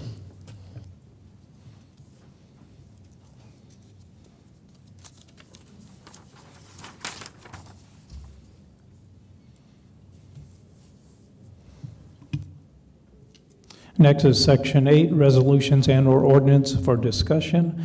8.1, Resolution Number 24-100, a resolution approving an employment agreement for Ikani Taumoepeau as city manager.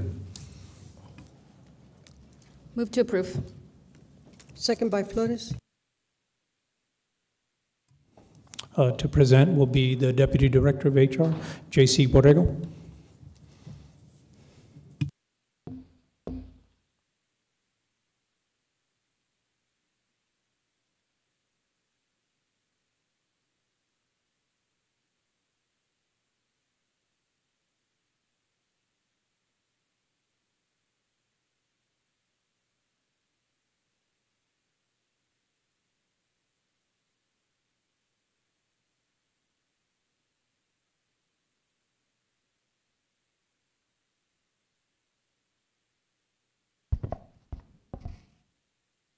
Good afternoon, Mayor, Mayor Pro Tem, and Council. My name is J.C. Borrego, Assistant Director of Human Resources for the record. Um, In front of you, Resolution 24-100 is City Manager Appointment and Employment Contract, Employment Contract. Uh, As you're aware, Article 3, Section 3.01A through C of the city charter provides that the city council has the authority to appoint a, a city manager. On March 18th, 2024, in a closed session, the city council discussed the internal hiring process and reviewed the applicants to interview. Um, that, that meeting was noticed and published. Um, there were nine candidates that applied. Um, three candidates were selected for interview at that time.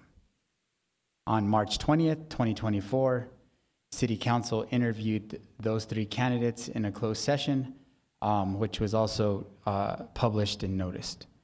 Um, and the City Council's uh, candidate, top candidate, was Ikani Taumoepeau.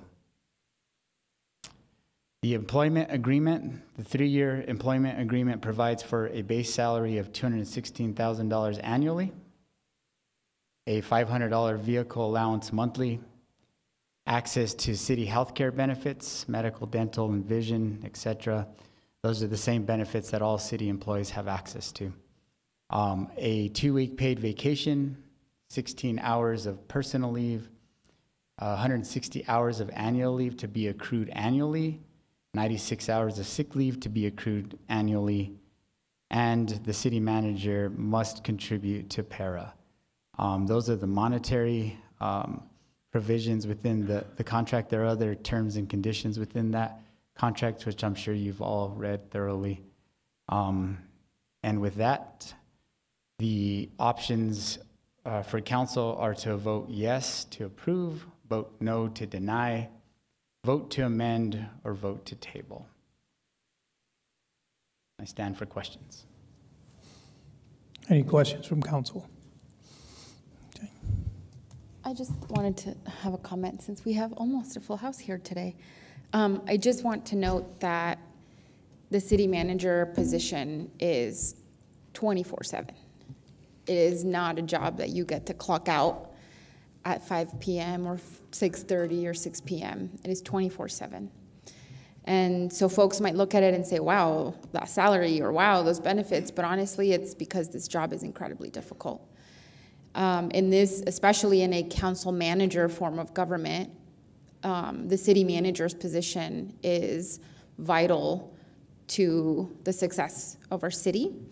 And um, I just want to note that I think those those two weeks are actually mandatory time off because we need a city manager who is who is taking care of their own mental and emotional health um, as well as taking care of the city, the entire city.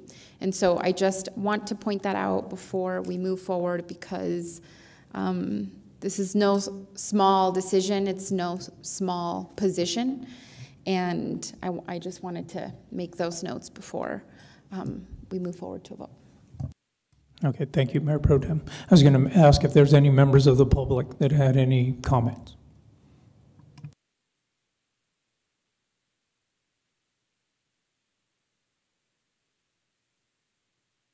Okay, thank you, Christine. This is on the motion to approve Resolution 24-100. Councilor McClure? No. Councilor Mattiace? Yes. Councilor Graham? Yes. Councilor Corran? Yes. Councilor Flores? Yes. Councilor Bencomo? Enthusiastically, yes. And Mayor. Yes. Motion passes. Congratulations.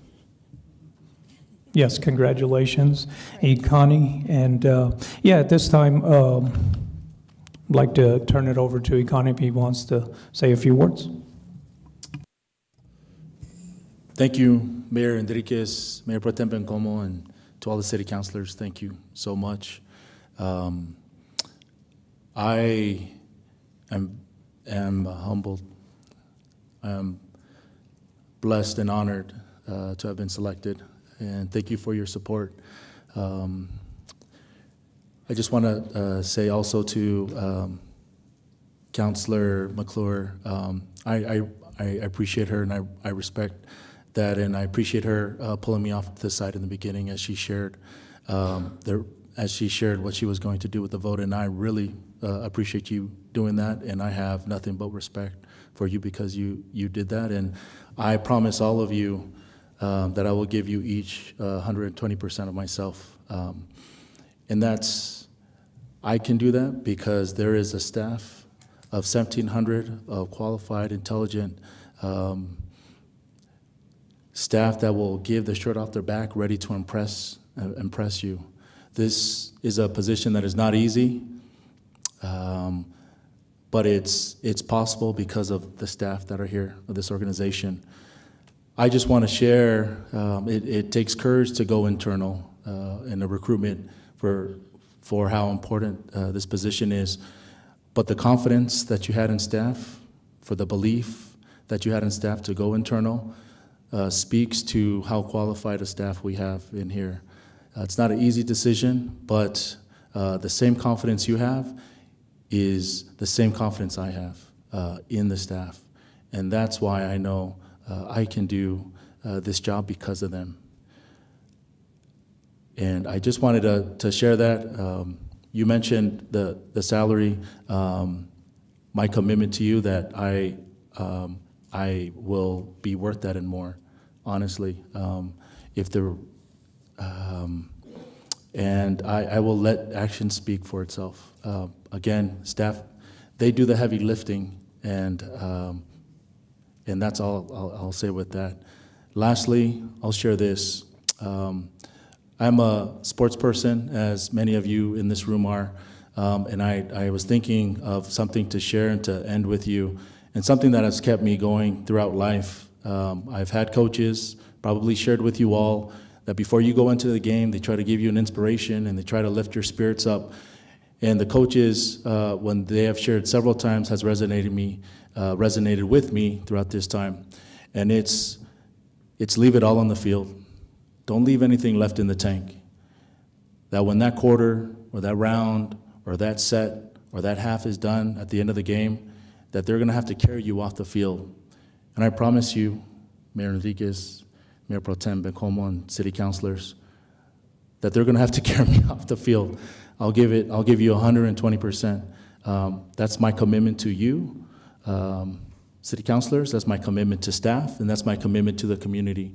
Uh, whatever you need, my door is always open.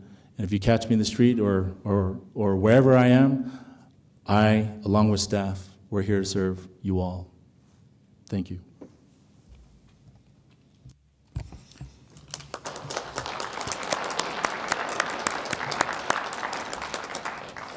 Thank you, City Manager. Now, uh, 8.2, Resolution Number 24-101, a resolution approving the Quality of Life Department 2024-2025 fees, schedules, and charges, and repealing Resolution 16-244, 19-0118, and 20-041. Move to approve, Graham. Second, Corran. Presenting will be Quality of Life Director Carol Bray. Good afternoon, Mayor and Council. Carol Bray, Director of the Quality of Life Department.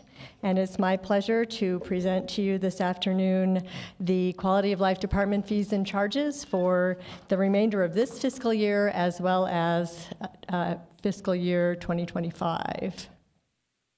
So we do an annual review of our department's fees and charges, our advisory boards, and we have two, the Library Advisory Board and Senior Programs Advisory Board, review those fees and charges, and uh, they have uh, recommended this action as well. Uh, we look at fees and charges that are equitable and at fair market value. And our um, intent is to make sure that we make our facilities as accessible and open to everyone as possible here in the city of Las Cruces. I'm going to go through each line of business very quickly, just to give you a couple of highlights uh, for the fees and charges from each uh, line of business. So first, with senior programs, uh, we offer recreation classes for seniors, and we're increasing that number. We offer, you can see, a variety of, of uh, programs from arts and crafts to, to uh, social recreation activities. Those are our dances and other activities recreation classes in general, such as Zumba Gold, which is one of our newest ones. And uh, sometimes kits are extra, so if you're doing a jewelry class, that is, uh, might be a $50 kit. But in general, as you can see, they're very reasonably priced. And the reason there's a range here is it has to do with the kind of class they're taking, uh, how much we pay the instructor, and how much the materials cost. We basically just try to recoup our costs. I did want to note also that we charge uh, for congregate meals for guests under the age of 60, $7.50. As you know, we have a grant that pays uh, for our meals. Uh, for Meals on Wheels, as well as our meals that are served to those who are over 60. For Las Cruces Public Libraries, uh, most of our programs and services are free, but we do charge for lost and damaged items, as well as, as you can see there, um, our Wi-Fi hotspots and kits. We do actually check those out occasionally, that equipment, so people can have Wi-Fi at home if they don't have it. And, we, and if those kits are returned to us damaged, we charge for those. We do not charge fines for overdue library materials. And here's our museums uh, charges. Admission to all museums is free. Thanks to your support for that. Uh, that is not true in many cities, and we are proud to be one of the few cities that does allow our mu museums to be open to the public that way.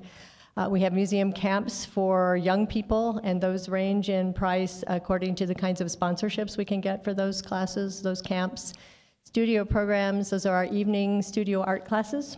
And again, that range is due to who the instructor is, what they're teaching, and how much the supplies are. Uh, field trips we do occasionally, and then our room rental charge is there for you to see. Uh, we recommend that you adopt this proposed fees and charges schedule for the Quality of Life Department for the remainder of FY24 and for FY25, Exhibit A that's in your packet. We also are asking with this action to repeal previous resolutions related to fees and charges, and those are listed there. So your options here are vote yes to approve, no to deny, you can vote to amend or table. And I'll stand for any questions you might have. Thank you. Any questions, Councilor? Councilor?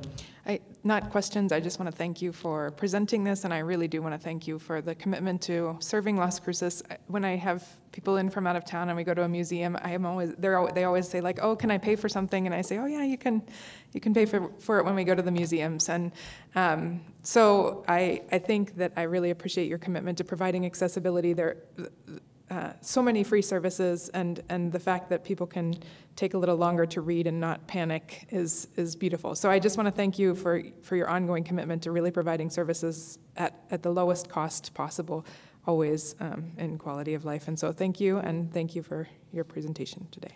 Thank you. Councilor Flores. Uh, thank you, Mr. Mayor, and thank you, Ms. Bray.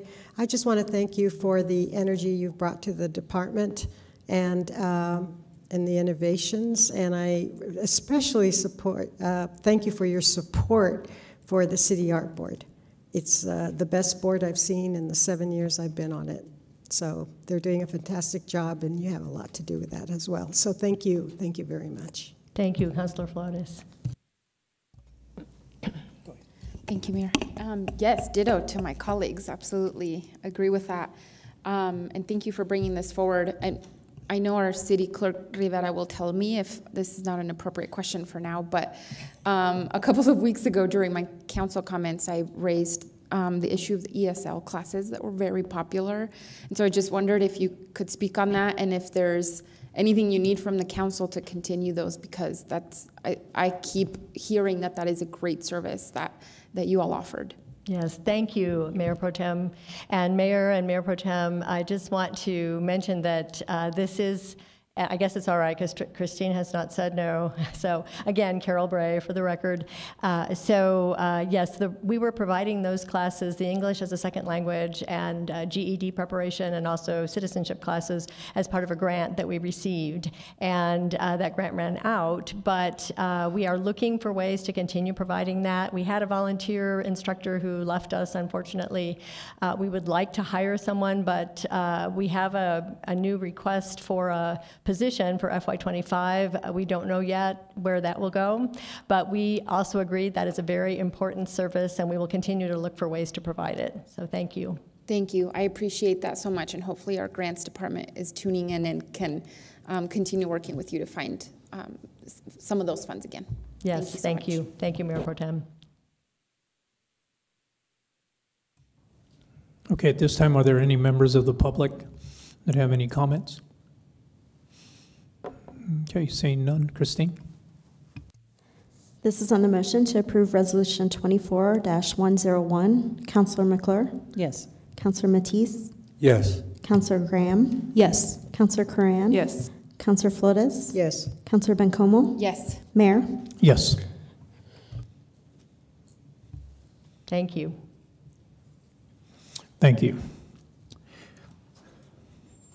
Next, we have Council Bill Number 24-023, Ordinance Number 365, an ordinance approving a zone change from R4C, multiple dwelling, high density, and limited retail and office conditional, to R4, multi-dwelling, high density, limited retail and office, for property encompassing 2.908 plus acres and located at 1712 and 722 Headney Place and 725 Basha Arc, submitted by m and M Building Solutions representative. Move to approve, Graham. Second, Corran. To present, Adam Ochoa. Good afternoon, Council. Adam Ochoa, Community Development for the record. Uh, before we do have a zone change for properties at 712, 722 Hendy, and 725 ba- uh, Bashak Arc. Currently, the property is zoned R4, which is multi-dwelling, high density, and limited retail and office conditional. That condition being that buildings to be constructed on this R4 property are limited to one story in height. Subject properties uh, combined totally, uh, to- totally combined uh, uh, I'll start over. the three properties combined encompass approximately 2.908 acres, and they are all three currently vacant or undeveloped. Showing the zoning map here, here are those three properties here, shown in the back part of what is the Banmore Estates subdivision that was uh, uh, subdivided uh, not too long ago. As you can see, just a hodgepodge of uh, uh, zoning within the area. It's got commercial north on uh, commercial zone north on Stern, multifamily zoning to the south, and uh, of course interstate to the, the interstate to the east, and uh, single family to the west predominantly. Showing here the aerial again, those three vacant properties here, single family here to the west, and we do have multifamily development here to the south, as well as some two-story multifamily here a little further south on Stern, to give you an idea of what what what's all around in this area. Uh, what is being proposed is a zone change to R4, multi-dwelling, high-density, limited retail and office, essentially removing that condition on height restrictions. This would allow the applicant to uh, develop a multi-story development, uh, multi-story apartment complex. Uh, it would increase multifamily units. Uh, they will meet all the site design elements that are required from their development. And uh, just to let you know, the applicant did let this. The applicant um, is the same owner who did the entire subdivision of Badmore Estates. They did let everybody who purchased lots or homes in that Badmore Estates directly adjacent to these three lots uh, in their covenants let them know that that they were going to go before city council going to try to get another zone change to go to multi-story. So everybody in that new subdivision who purchased those lots or those homes are aware of the uh, um, the proposal that's coming before you today as well. Here are those three lots uh, shown here. Uh, When staff did our analysis, we did see no health, safety, or welfare issues uh, uh, associated with the proposed zone change. Uh, We did see that the proposed zone change is compatible with the surrounding prop, uh, surrounding area. We do do have multifamily and multifamily two-story development just uh, south and east of this property. Additionally, the proposed zone change uh, aligns with Elevate Las Cruces. This is a suburban place type, uh, which has a mixed-use environment, which, with multiple uses, single-family uh, uses, multifamily uses, retail uses, office uses, and other ancillary uses. So it's just another uh, check mark, if you will, that is within the suburban place type, is what, what they're being proposed today. Public notice was sent out to surrounding property owners within 500 feet of the subject property. Uh, Staff did receive one phone call uh, in opposition, uh, two emails, and additional two emails today, so four in opposition to the proposed zone change. Uh, Staff did receive also one phone call in support.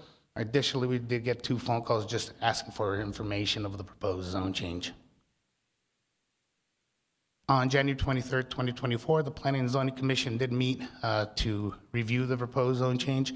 Uh, After very minor discussion, because there was no public input at the time, um, nobody spoke up against the zone change. The Planning and Zoning Commission did vote to recommend approval for the proposed zone change based on the findings within their staff report and as found in one of your exhibits as well. Those are the findings shown here. Uh, The proposed zone change is supported by Elevate Las Cruces, uh, allows for development of vacant property in a, in a rather established area of the town, fosters more rational development between different residential land uses, uh, what could be consistent with the residential developments of the surrounding neighborhood, and the subject property is located adjacent to a minor arterial roadway where multifamily development and zoning is encouraged. That is the conclusion of my presentation, uh, but uh, your options today are one to vote yes and vote vote to approve. Uh, This would align with the recommendation of the Planning and Zoning Commission and the and the subject properties to be rezoned from R4C to R4. Uh, Two, to vote no and deny uh, the proposed zone change. Three, to vote to amend uh, and add conditions that deem appropriate. Or four, to table and postpone, direct staff and the applicant accordingly. Uh, That is the conclusion of my presentation again, and I stand for questions. All right, thank you, Adam. Mayor Pro Tem? Thank you. Thank you, Adam. Just so that I'm clear, Adam, um, in 2020, my very first council meeting ever lasted till about 8 p.m. that day.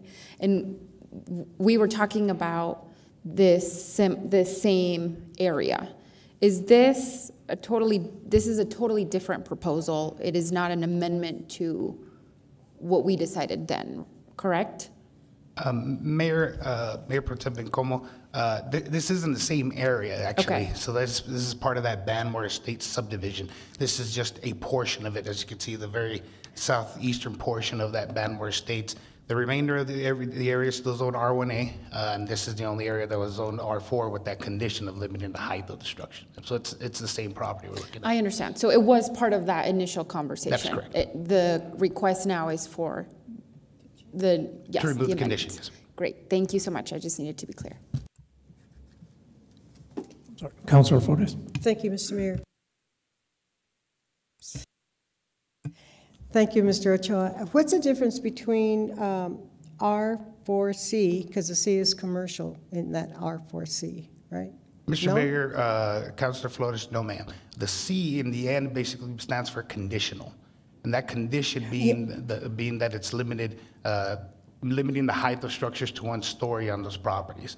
So that's the the difference. Oh. R4, C has a condition, R4, there's no conditions on it. So it can be, as it could be a three-story building, because I think three stories is our maximum, right, in the city of Las Cruces, except for that big building, that old Wells Fargo. Mayor, Or do Councilor we, don't we have a restriction or a limit on how many stories? Mayor, Councilor Flores, yes ma'am, the R4 zoning district allows for up to 60 feet in height. Which is, how, how, how 60 feet? Mayor, Councilor Flores, that'd be roughly about four stories tall. Four stories, I thought it was. Four or five stories tall. I thought it was three, I thought it was a three-story limit. Is that res, well, this is residential, though. Okay, well, I had that wrong. But it allows it to be higher than that. Mayor, uh, Councilor Flores, that is correct. And Oh, no, th- th- so under the proposed R4 zoning designation, The cap is still maximum height of 60 feet in height. I don't believe the applicant is looking to go that tall, uh, but that is what's allowed by right in the R4 zoning district. Pues entonces, ¿para qué es? And wh- wh- What is it for? I mean, what, what, what- what effect will that change make? Mayor Council Flores, what it'll allow them to do is still do multi-story because currently under the conditions with the zoning, they're limited to one story in height only. By removing that condition, they could go to multi-stories, two, three stories. Mayor. When you make these proposals or these changes internally, do you um, ask the uh, surrounding community what they would like, or do you just uh, bring it to city council? Mayor Council Flores, we do have public hearings uh, at the Planning and Zoning Commission. They have the opportunity to voice their opinions there as well. We do send out notices, we- we advertise in the Sun News, and we post a sign on the property as well when it's ready to come to public hearing. At that time, we take any public notice, they could come to those meetings, provide their input as well. Uh, But like I said, at the Planning and Zoning Commission, nobody was there. There, literally, the only person in the crowd was the applicant. And then once this, uh, say it was to go into effect, what uh, sort of structure can the owner uh, build? Uh, A- Anything that, uh, that is 60 feet high or what? Councilor Flores, Mayor, uh, essentially what they're limited to are are apartment, uh, apartment units. I see. uh, Is what's, the- is what they're proposing, Oh, is is I see. apartment complex. That's the purpose. Well, thank you very much, Mr. Ochoa. Thank you, Mr. Mayor. Councilor McClure? Some of my questions have already been answered, but um, I do also wonder about um, if something had been set into motion in 2020, why that was not given as a background for planning and zoning, and how does that not factor into our decision-making right now? Councilor McClure, Mayor, uh, essentially, the condition was placed there at city council. Uh, It was trying to be brought forward as just straight R4 zoning by staff and the applicant. Uh, But that condition was placed on uh, li- the limiting the height of the building uh, by, at the city council meeting by council um, because of public, uh, public input and the surrounding neighborhood uh, wanting to put that condition on that property. Is the applicant here? Um, I believe they are here. Some of them might have stepped out to the restroom, ma'am. Because I would also like clarification on what they're aiming to build. Because uh, partially why it might have been until 8 o'clock at night is that there were a lot of people in opposition to this, especially for multiple stories. And I'm all down for housing, but if you look at what's being built there, the part of the conversation in 2020 was affordable housing. And I'm not sure if that's exactly what they're aiming to do right now. Council McClure, um, uh, Mayor, no, they are not looking at doing that. They're doing, trying to do just straight, regular apartment complexes that they're trying to do.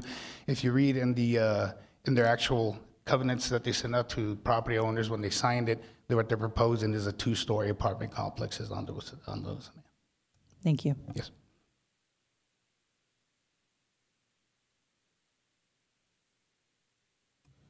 Uh, Adam, I know that um, when it was brought up before, one of the big issues was the traffic study. So has, uh, has that been uh, addressed in this case?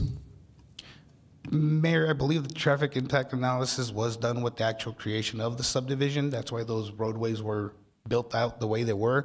Uh, If we remember, um, Boutz and Stern were both just essentially two, two-lane roads. They have been widened in front of the subdivision.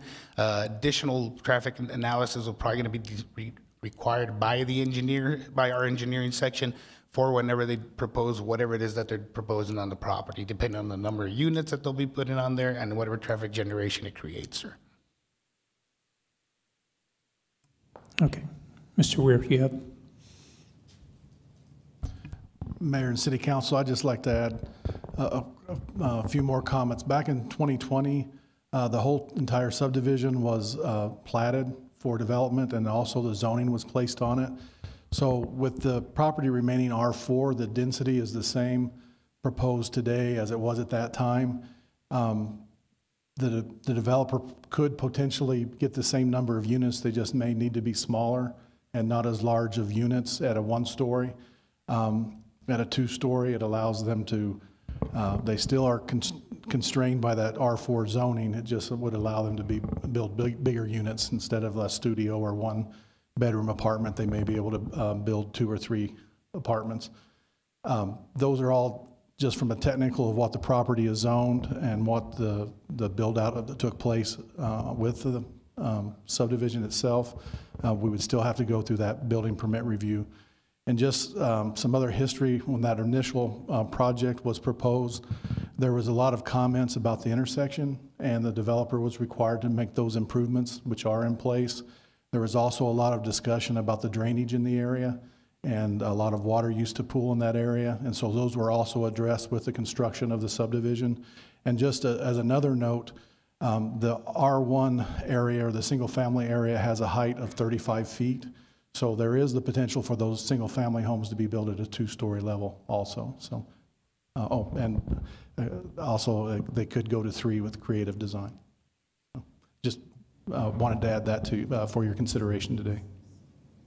Okay, thank you, David. I have additional comments, Mayor. Go ahead, Mayor Pro Tem. Thank you, thank you, David, for that um, information. I, uh, you know, I, as I was reading this, I could have sworn that we had allowed two units for the apartment complexes back in 2020 that were on Stern Drive.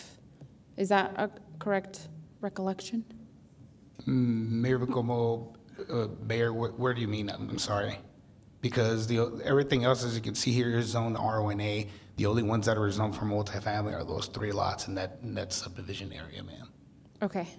Um, Mayor and Mayor Pro Tem, I, um, there is an apartment project to the south in this area that is constructed at, at two stories, so it's um, not a, a new development type within the area. Okay. Um, just a long time ago, my memory betrays me from a week ago, frankly. So, um, I did just want to point out, though, that last time we also heard a lot of comments about. Um, there was a lot of misinformation about the kinds of people that live in apartment complexes, and so I hope that I know there's a lot of folks here today that I hope that that is because the the concerns about traffic were super accurate. The concerns about the Boutz Lake were super accurate, um, and some of those pieces have been corrected. I think Boutz for a long time, th those folks, we've talked to Public Works about the concerns about traffic traffic calming there as well. So for me, it's always you know Hoagland and Boutz and um, all of these different McClure, these different streets that have these requests for traffic calming um, that are, I think, both a separate issue as well that needs to be addressed. But I do hope that as public commenters come up here, that you you know that there is um, that I hope that you're not talking with the same misinformation pieces regarding apartment complexes, who lives at apartment complexes, and that quote unquote those people will um, lower your property values. That is, those things are not proven. Those things have proven to be not true. Um, and I think in a moment where we have a rental unit shortage, whether it's affordable or market rate, we have a rental unit shortage of 5,600 rental units. And those are the pieces that also go into the consideration for um, at least myself. So I just wanted to make those points before we move on. Mr. Mayor, if I Go may. ahead, Councilor Mattiace. Mr. Chaw, Mr. Weir, uh, is the condition two stories? I mean, is there a cap on two stories? When you say 60 feet, that could be three stories, four stories, and it could even be five stories. Is it a two-story apartment building being built? Mayor, Councilor Mattiace, uh, from the documentation that the applicant has provided staff, uh, all, all signs point that they're trying to do a two-story apartment complex, sir. Okay, and and that's for sure. Yes, sir. Uh, uh, But again, the, the the zone change is for just to remove the conditions. So in other words, 60 feet would be the max, if you will, but they're not looking at going that tall, sir. Mr. Weir? Mr. Chair and uh, Councilor Mattiace, uh, something that the, the council can consider is instead of using the language stories, you could go to a height. Um, Your third option was to amend this resolution. So um, if you were concerned about the maximum height in that area, you could match the 35 feet that's allowed in the single-family zone and not use the stories. And then it's a matter of the developer, um, what project he can propose within that, those parameters. I concur with that, thank you.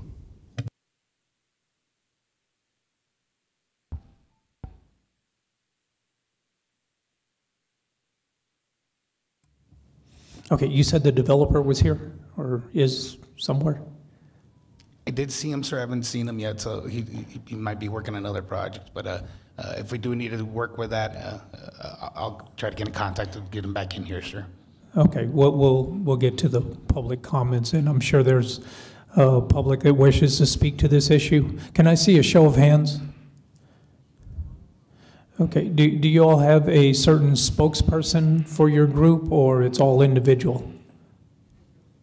Individual, then, then we'll go ahead and go with, with two minutes, you can all come up and speak.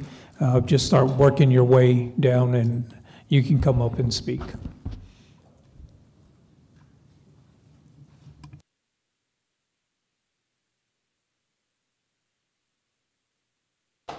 Good afternoon again. My name is Dolores Bernal. I represent uh, Save the Road Runner at savetheroadrunner.org. I am a little appalled about the way uh, city employees like Mr. Adam and Mr. David Weir operate. I was at the PNC uh, commission meeting last week, and the commissioners were asking questions, just like you are. And they're like, what about this? And what about that? And Mr. Adam was the only one providing him input. Um, a minute ago, he said that the developer went to the bathroom, and now he says, I don't know, maybe he's working on another project. I think you need to be looking into some of the statements being made by your city employees a little closer. Um, I think a lot of people here are a little confused as to the input that is provided uh, minutes before this meeting, during this meeting, and then they're dismissed automatically when it's time to take it to a vote. So, what is really the process here? People come here, offer input, and then boom, the PNC commissioners vote because these two gentlemen tell them to. And then, same thing here. Uh, they present something to you, you just take them for their word, and then boom, you, you approve it. Uh, so they're not respecting uh, residents' input, and let alone even the idea of having wildlife surveys on these areas that are being developed. So, gentlemen, I'm going to be coming to all the meetings, and I'm going to be pointing out just how ridiculous this whole process looks. Thank you.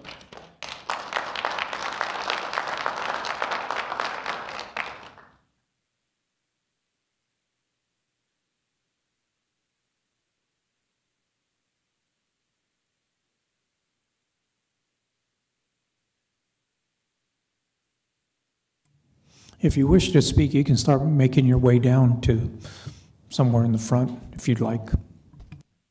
Good afternoon again. My name is Diane Williams. Um, I attended several of the meetings back in 2019 and 2020. There would be more of us here now if we had been notified of what was going on. My understanding was they only notified people with in 500 feet, which is a park, a few um, duplexes, and a subdivision that hasn't been built yet, but it's making very good progress being built. All of the residential areas beyond the subdivision, none of us were notified. Our main, main point of protest is traffic. Traffic, you know, we heard, heard all this stuff about, oh, 15,000 vehicles per Boutz. Well, maybe that's true on the five-lane part of Boutz at Ansett Valley. We are a two-lane road after that. We have no lights. I mean, we have no lights in the streets. There are lights on Boutz. There are no sidewalks. There are no curbs. There's very little shoulder. Um, the shoulder on one side abuts to a drainage canal. It's a hazard for the kids in the neighborhood. It's a hazard for cyclists. It's a hazard for people walking. Um, that is our objection. It was approved for the three single story um, back then. Um, you know, we would have been at the zoning uh, meetings. Uh, we would have provided more input formally had we known about it. Most of us found out about it on Friday. That's all. All right, thank you, ma'am.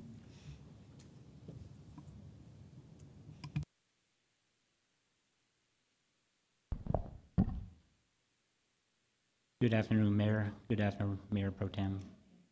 members of the city council. My name is Patrick Dawson. I'm a resident in the uh, immediate area of this proposed change from an R4C with a condition of one story to an R4 with a condition of up to 60 feet currently as uh, uh, reported. Sir, could you speak a little closer to the mic, a little louder? Sorry about that. Is that a little better?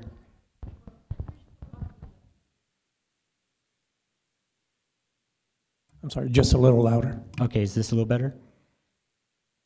Oh, thank you, sir. Again, my name is Patrick Dawson. I'm a uh, resident in the immediate area. I did attend the last meeting that we had regarding this that imposed that condition. A lot of it did uh, have to do with, obviously, the uh, concerns of the traffic flow, which has not been changed significantly. Uh, there has been some work done on the road, uh, but it still remains a two-lane uh, bi-directional road. There is a turn lane that's been incorporated for access to one part of the um, development on the, I would say, northwest side and also on the uh, northeast side. But apart from that, the traffic flow is the same. There is no light that goes uh, in the southbound direction or southwestern uh, direction from Boutz. Uh, as you uh, enter Boutz from Valley southbound or southwest bound, it goes from a uh, basically a four-lane road to a two-lane, goes under a bridge, the Interstate uh, 10 overpass. It's a 35 mile an hour zone at that point. It reduces to a 25 mile an hour zone right after the intersection with Stern. Uh, there is some curbing that has been placed there. That curbing has been hit multiple times already by vehicles. Uh, you can see the, the skid marks on those. Uh, there, while this construction was going on, there was actually a vehicle that hit one of the fire hydrants uh, at one of the residences on Boutz, uh, just opposite this construction that's going on currently, uh, caused a, a, flooding situation for some of the residents in the immediate area. Uh, traffic does not necessarily go from 25 to 35 that quickly. Uh, we do have traffic that goes through. Is my two minutes up? Sorry about that. I'll let, let yes, go at that. But traffic flow is a, it, it remains to be a concern. And secondly, there are no sing, uh, two-story residences anywhere near those three lots. You go down south, maybe a half a mile, and you'll find your first one and the only one. Thank All you, right, sir. Thank you, sir.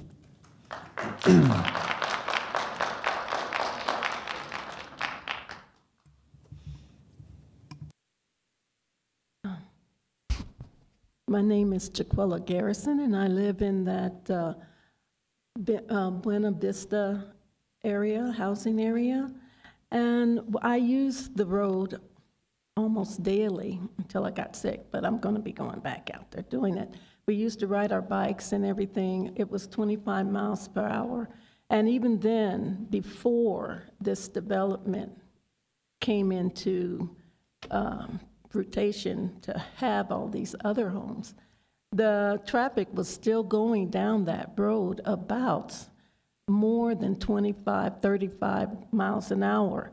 And uh, we were being concerned, and that was one of the reasons why that uh, back in 2020 that we came here because it was impacting the safety of children who do not have a park nearby their homes to to play or ride their bicycles. And now this gentleman wants to put a two-story building, which if we changed the zoning, it could, they could change their minds and want to put a three-story because they don't want to do the one-story. And it's all because of money. And I was hoping that we would be able to use it, that land for a park for the kids that are in the residential areas are surrounding it. There is a, a park down further towards the university, but it's, it's not a very large park. And uh, I think the benefit of a park there for people who have their dogs and stuff uh, would be a much better choice than an apartment building that will add to uh, speeding and uh, unsafe uh, uh, usage of the road. Thank you. Thank you.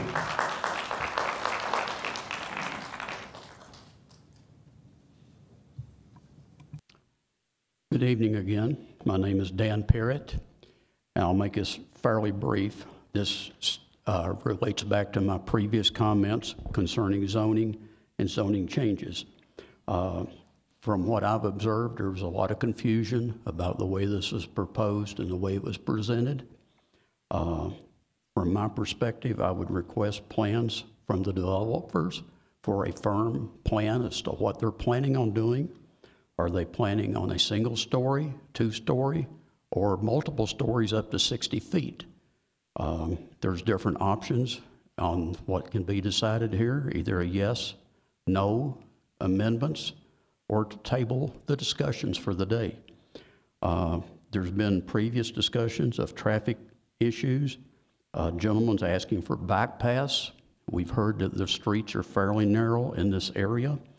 And uh, the one um, suggestion that was made was to limit the height of the building to 35 feet, would, would basically be a 30 or two-story, 35-foot tall building. Uh, I would request, just as a simple matter of courtesy, the plans be approved prior to the zoning changes being made so that we know what's going there. Um, Last comment that I'll make about the zoning changes in the city, and this concerns the city as a whole, is that in the high range area, from time to time, we see planting signs that are up, but the print is so fine that unless you park your car, hike across the lot to see what's actually being proposed, you have no clue as a resident. I would propose the city put up a large enough sign with a property number on it, a phone number, an email, or a text number where the citizens can make comments as to what they would propose and what they would like to see done with that property. Thank you for your time.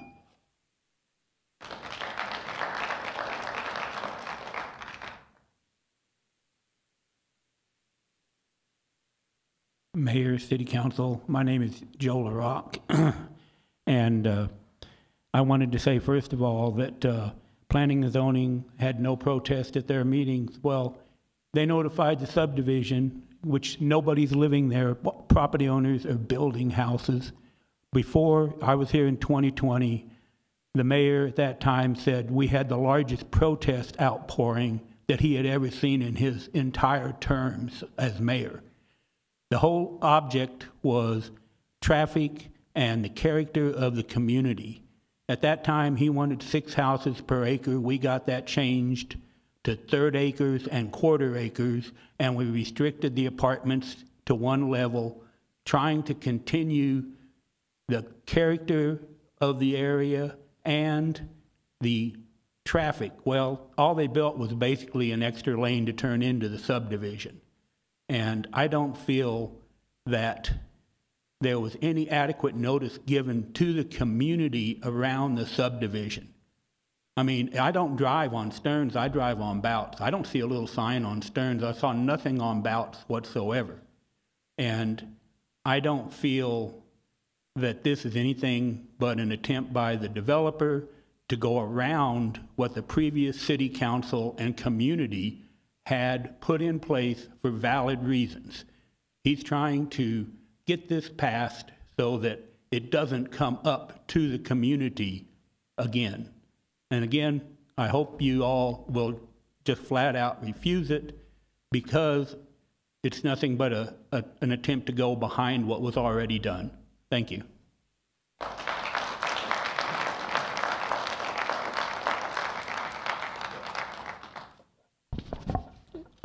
Henry Young once again. I didn't even know this was coming up today, but as a former member of Planning and Zoning Commission as well as chair from, uh, can't remember the entire time, 2005 to 2010, the last three years as chair, I'd like to clarify some of the things for council that have been brought up. As I say, I don't have a dog in the fight. I'm neither pro nor con. But let me explain something that, uh, that I've heard, two things. The way this was approved originally, a park cannot go in there because it wasn't put into the restrictions at that time. So they can build under the previous plan and put in um, anything that would go with the previous recommendations. Now, changing from R4C to R4, if they go three stories high, they would probably go beyond the required number of tenants on three stories. You follow? It doesn't matter how what the height is. If they went to three stories, they would already be higher than the R4 limit. So we can't go so much by the height, go by the R4, unless you want to make sure that there can be no more than a certain amount. Then you go with the height requirement. Thank you.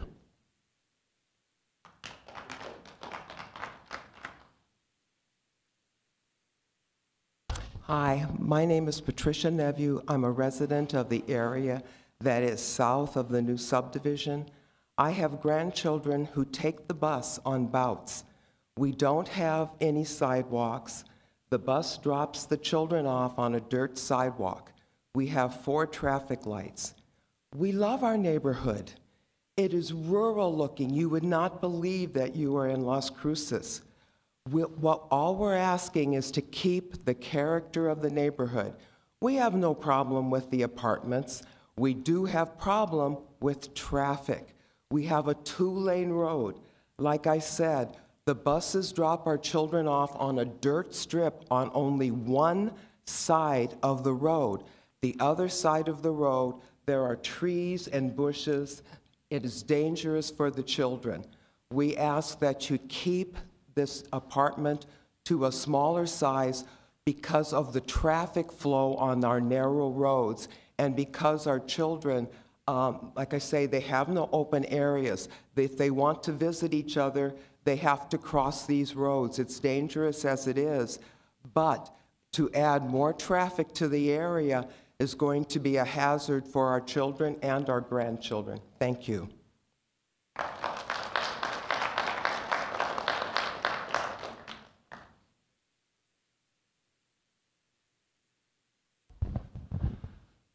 My name is Dell Hanson. I live at 1105 Marilisa Lane with my wife Donna, and we've lived there for 34 years. Uh, I was here the previous time that we had these discussions, and the gallery behind me was full. It went long. We had done our research. There was a video presentation that went along with it. And I thought we, we made our point very clearly. What the commission and the mayor needs to realize is that the final result for R4C was a compromise. Our neighborhood wanted no apartments. We wanted larger lots than were proposed. The developer wanted apartments, multi story apartments. After long discussion, the commission and the mayor decided that there would be uh, there was a compromise that said there would be apartments, but they'd be limited to one story. And so we shook hands and left. Not everybody was completely satisfied with it, but we left that meeting knowing that there would be one story apartments. Here comes the development. We're watching it unfold in front of us right now. And out of the blue, we are told that it's going to be, well, that promise that we made back in 2020, we may amend that now to some specious idea of what might come about. Maybe it's two stories, maybe it's three, we don't know. Where's the developer? We're not sure. It doesn't, it smells like a, a fish factory when the ice runs out, is what it smells like right now. And what I want you to realize is that it was a compromise and that you have an opportunity to make good on your promise to this neighborhood that was made before. Thank you.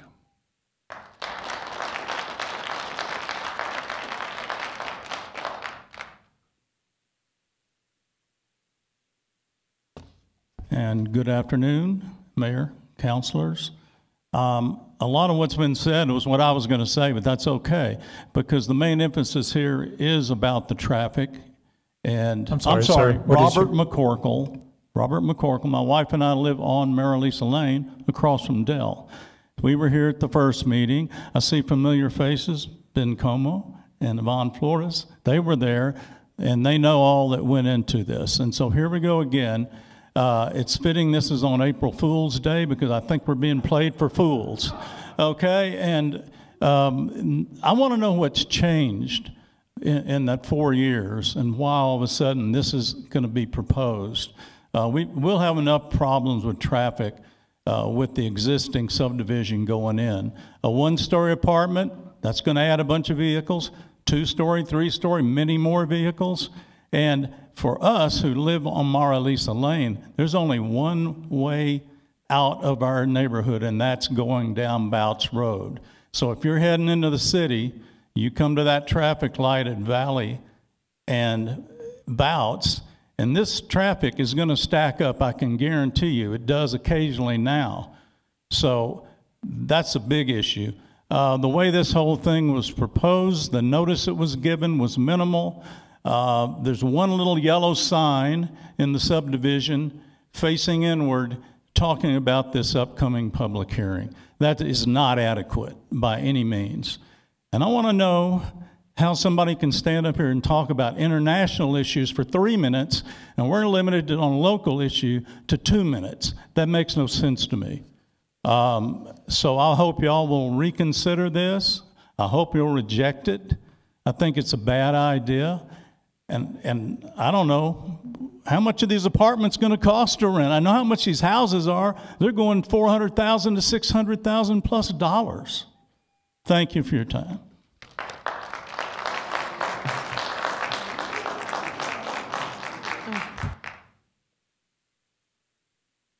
Afternoon, Mayor. Congratulations to our new city manager. Well deserved, councilors. Um, my name is David Stout. I live in the area of West Boutz at the far west end of Papillon Lane. All the lots down there are half acre. All of you that were here the last several council meetings that we've addressed this problem, um, we wanted the larger lots where the gentleman that they're talking about is Scott Bannister. He's nowhere to be found. He never is. Uh, I've addressed several things with him over this subdivision. Everything that you all heard before, I don't need to repeat it because you're all aware of it. He hasn't kept his promise on any of it yet. One of the major issues that I discussed is the irrigation ditch that runs down Boutz Road. And there was a comment made there's an irrigation ditch. Well, it's there, but now it's going to be the first home that has been built. That ditch sits inside the property line. So it's in somebody's backyard. And the guys doing the rock wall, they actually buried the ditch. Had to get them to dig it out. It's been full of weeds. It's a problem. Uh, the rock wall that the city required them to put up by the sidewalk, now that dirt ditch, it leaks under the walls and into the street. They asked for wider, or wider roadways. He did, he did what he said he was going to do. He did put the turning lanes in, but for some reason, the engineer decides that there needs to be an island put in there for people to run over the top of their vehicle that drive larger vehicles. Not everybody drives a little sport, fancy sports car. So it tears up their vehicles. It's filling up with dirt and weeds right now. There's no outlets for the water to run out of it, so it, it holds water in ponds there. Um, the whole deal was just wasn't planned properly. Um, I was glad to see somebody take over that property that's sat vacant for so long and build, build homes there. It is turning out to be a nice subdivision. The deal was to keep it as single story. That was a compromise, just like what was said previously. And I think we need to take that into consideration, but we also need to hold him accountable make sure he does his job. Thank you for your consideration.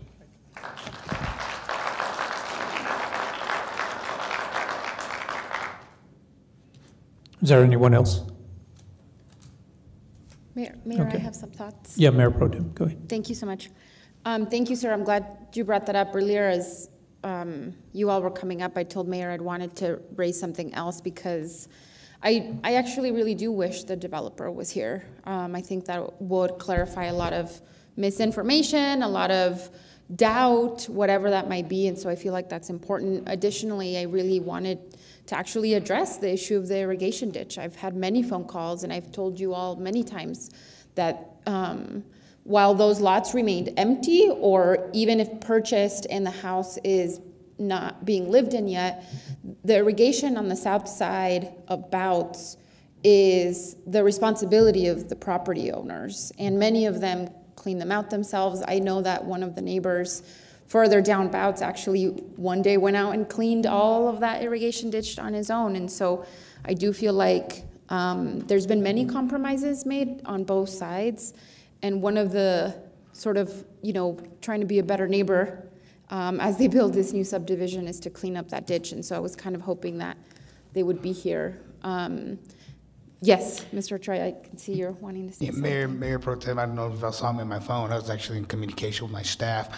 I believed I saw the applicant's representative here earlier in the front desk. He actually was not. He's actually out sick, about, so I apologize about that, ma'am. He is not present today. I do Well, apologize. Mayor, if you don't mind, I would like to at least table it for two more weeks so that the uh, developer is here. I think it's important that the developer talk about the plans um, and is able to answer some of the questions. I would just say two weeks. Well, if you have a motion, we have a motion and uh, a second. Second? Oh, second? Okay, so we have a motion to table for two weeks? No, I'm saying what the motion is, is you put, are you putting a date on it, a time? Yes, thank you, Mayor. I would say April 15th? Is that? That is the next meeting, yes. Okay, thank you. Yes, that would be my motion to table to April 15th. Okay. This is on the motion to table ordinance 3065 to April 15, 2024. Councilor McClure. Yes. Councilor Mattiace. Yes. Councilor Graham. Yes. Councilor Corran. Yes. Councilor Flores. No. Councilor Bencomo. Yes. And Mayor. Yes. Mr. Mayor? Yeah. Mr. Yeah. Thank you, uh, Mr. Chair. Mr. Ochoa? Well, we, we've already closed that item. No. Oh, we've closed it? We can't talk about it? Yeah, we're done. Sorry. But you, That, that's really a disservice.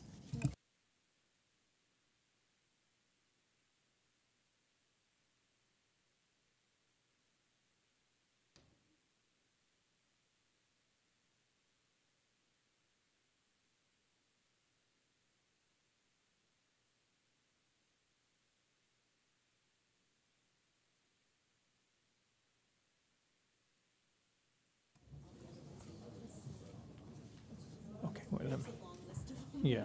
So next on the item is board appointments.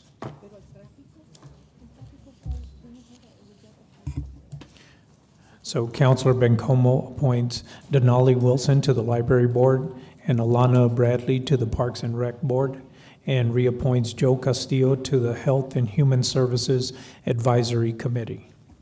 Councilor McClure appoints Charlotte Lipson to the Health and Human Services Advisory Committee and reappoints Stephen Jones to the Library Board.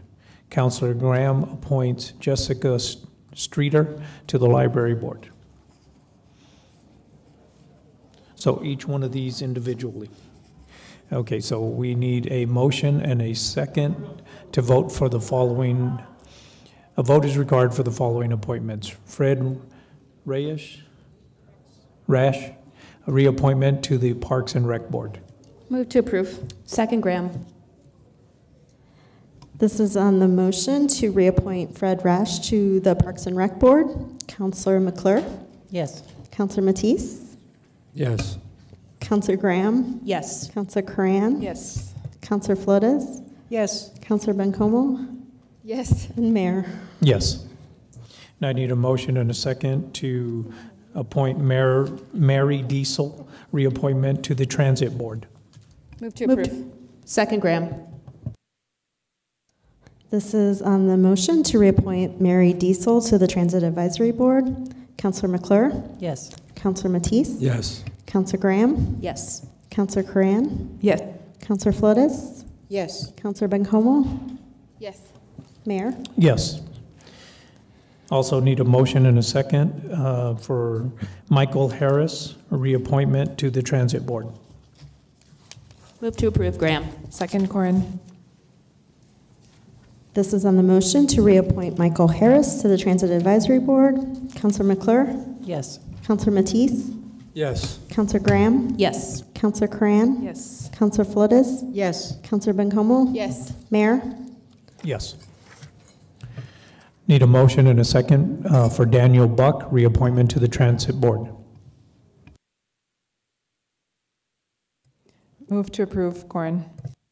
Second, Graham. This is on the motion to reappoint Daniel Buck to the Transit Advisory Board. Councilor McClure? Yes. Councilor Mattiace? Yes. Councilor Graham? Yes. Councilor Corran? Yes. Councilor Flores? No. Councilor Bencomo? Yes. And Mayor? Yes. Need a motion and a second for Selmari Allen, a new appointment to the ADA Committee. Move to approve. Second, Graham. This is on the motion to appoint Selmari Allen to the ADA Committee. Councilor McClure? Yes. Councilor Mattiace? Yes. Councilor Graham? Yes. Councilor Corran? Yes. Councilor Flores? Yes. Councilor Bencomo? Yes. Mayor? Yes. Next is Isaac Taylor Wise. We need a motion and a second reappointment to the ADA Committee. So moved by Flores. Second, Graham. This is on the motion to reappoint Isaac Taylor Wise to the ADA Committee. Councilor McClure? Yes. Councilor Mattiace? Yes. Councilor Graham? Yes. Councilor Corran? Yes. Councilor Flores? Yes. Councilor Bencomo? Yes. Mayor? Yes. Next is uh, reappointment to the ADA Committee, Ronald Rivera. So moved, Corran. Second.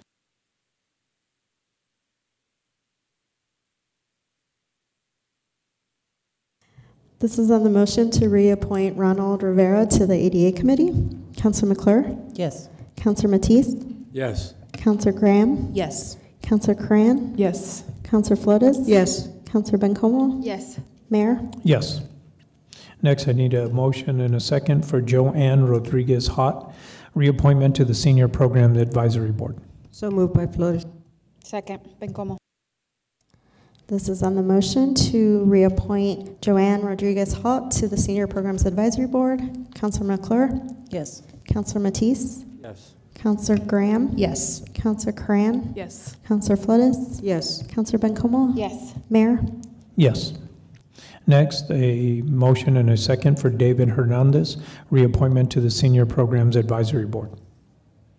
Move to approve, Corran. Second, Flores. This is on the motion to reappoint David Hernandez to the Senior Programs Advisory Board. Councilor McClure? Yes. Councilor Mattiace? Yes. Thank you. Councilor Graham? Yes. Councilor Corran? Yes. Councilor Flores? Yes. Councilor Bencomo? Yes. Mayor? Yes.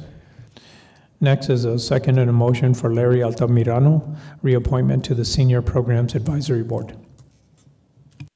Move to approve, Graham. Second, Corran.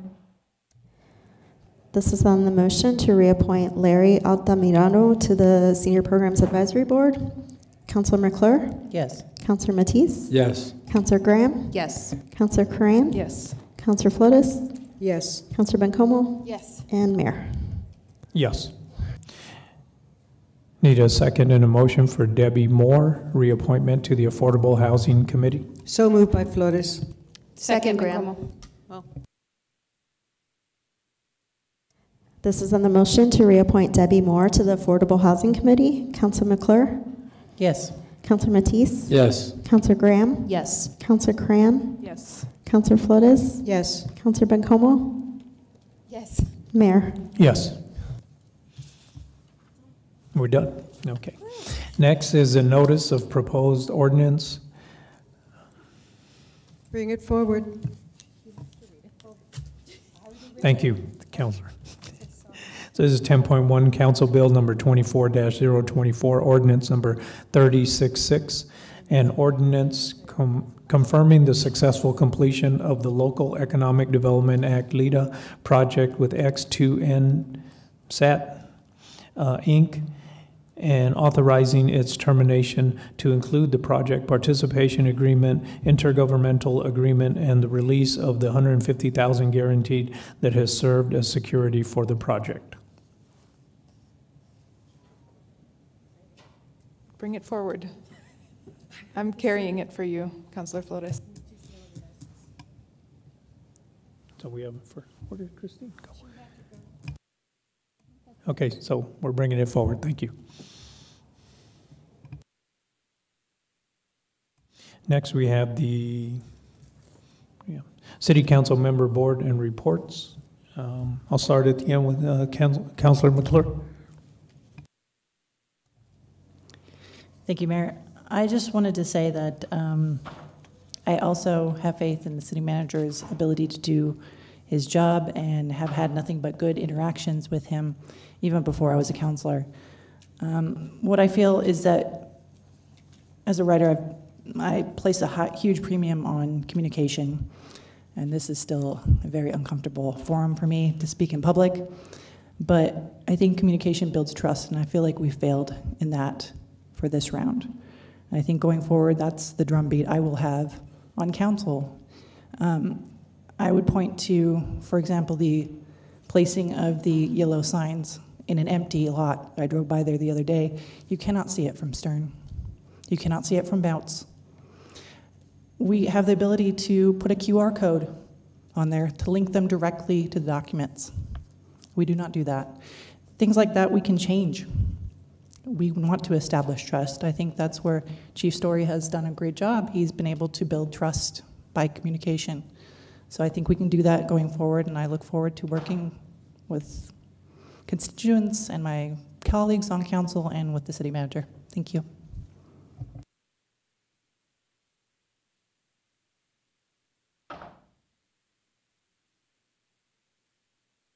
Councilor Mattiace. No comments.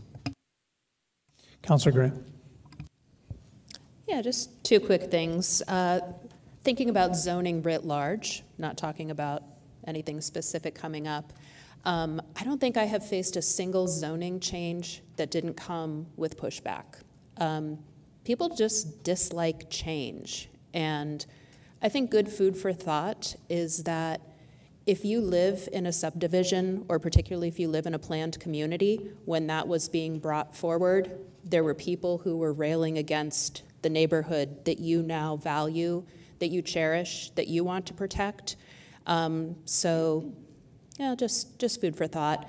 And second, um, just want to say, Ikani, how very excited I am to be able to continue working with you. Um, I want to thank you for choosing to remain here, to continue to bring your gifts and your heart and your cariño to the council and to the city. And, uh, you know, and also thank you to your family for hopefully enjoying being Las Crucens for some more time. So, thank you. Thank you. Um, I'll have a, I have a few quick notes. The Las Crucens for Palestine have presented a resolution, and I do ask that we bring it forward um, to council and um, consider it uh, as part of our, our duty to our community and the things that were presented today. So I hope that um, we can consider that as a future action. The, the next item is related to, I want to congratulate my friend and colleague Monica Torres for becoming the president, which of NMSU and, and uh, the NMSU system. I'm really excited for her to be at the helm. Um, as, a, as a human being, I've worked with her for, for my entire time in Las Cruces in some capacity or another. I consider her um, a pretty extraordinary leader, and I think we're at a moment, I'm, I'm really proud uh, to be at this moment to see Monica at the helm of NMSU and Ikani here in the city to see, to see us moving forward in ways that I think are really extraordinary, and I, I love the opportunity that um, the future holds for us. So I'm, I'm super optimistic um, in that way, and lead, inspiring leaders all around, I would say.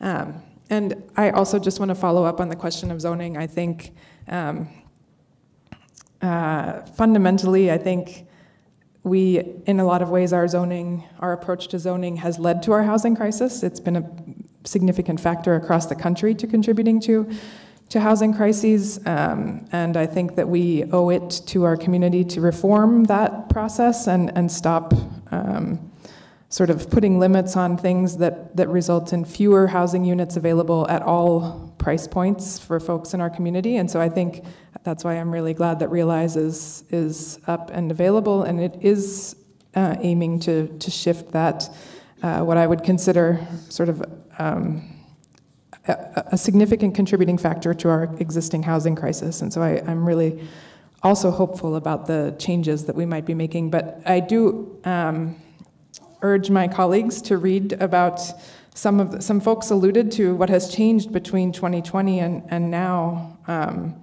and there's a lot of research now that shows the ways that zoning contributes to, to housing insecurity in our communities and in our cities. And I think that that research um, would, would be really well served by um, us considering it while we consider our zoning reforms generally. Um, again, not related to anything that we were talking about today, except folks mentioned what's changed. And, and I think the access to information about this um, is different now. So. Uh, those are those are my main comments. Thanks. Sorry, Councilor Flores. Thank you, Mr. Mr. Mayor. And um, so I have a few things to share. Uh, first of all, Las Cruces seeks comments for major codes and zoning changes. So for those of you who are here and for those of you who are on Channel 22 or maybe our media, I would ask uh, of Mr. Garcia to publicize this. I saw this in the bulletin, in Friday's bulletin. Um, March 22, announcing that um, the City of Las Cruces is seeking public input for a draft of Realize Las Cruces a massive overhaul of zoning and codes that govern how, when, and where different types of buildings can be erected. Comment period, which opened March 13, 2024, and lasts until April 5, which is this Friday, 2024, is meant to gather public input about the real, Las Cruces draft. So this specifically involves land development codes related to historic preservation, zoning regulations, subdivision regulations, development standards, roadways, transportation analysis, parking, drainage, and stormwater.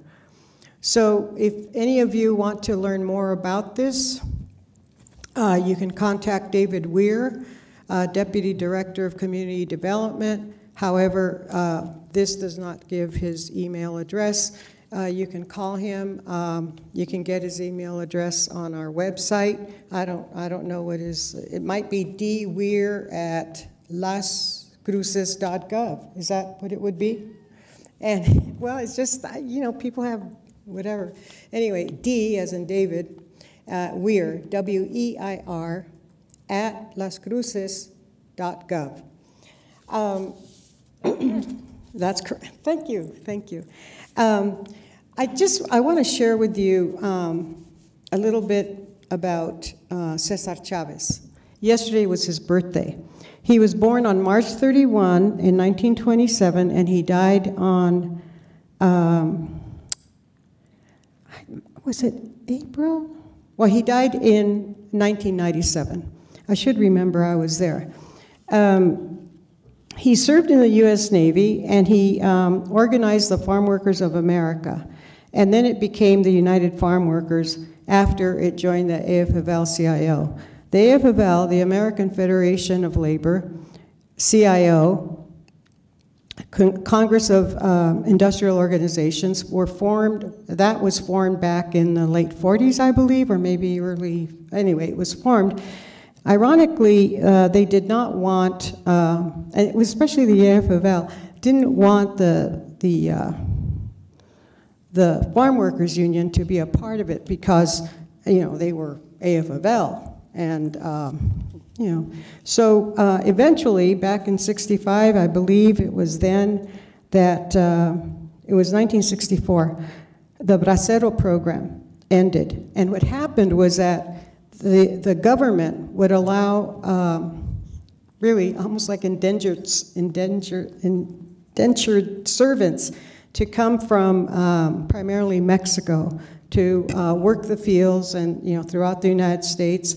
But I'm focusing primarily in California because um, of all the you know, all the, it's a big state and uh, there's just a lot of growth of a lot of things almonds, oranges, uh, grapes, and um, uh, lettuce and other stuff. At any rate, um, so then um, that was when things started to move, but they never were able to really form a union until, or excuse me, yeah, to uh, join uh, a force. And uh, under the direction of Saul Alinsky, who started the Community uh, Services Organization, who trained Fred Ross in Chicago, and his son, Fred Ross Jr., was the one that worked directly with Dolores Huerta and, and Cesar Chavez.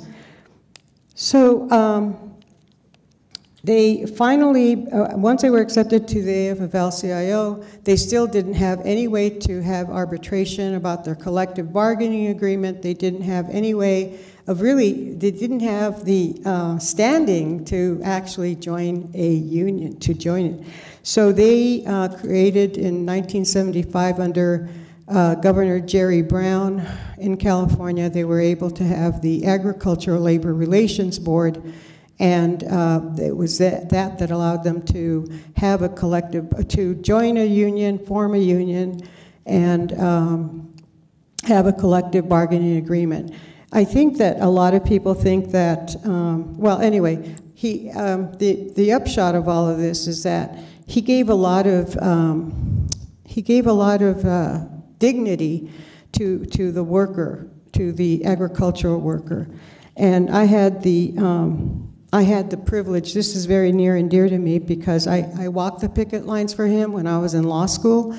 Um, the law school I went to is uh, in the Tenderloin in San Francisco, and we'd go into the all the all the.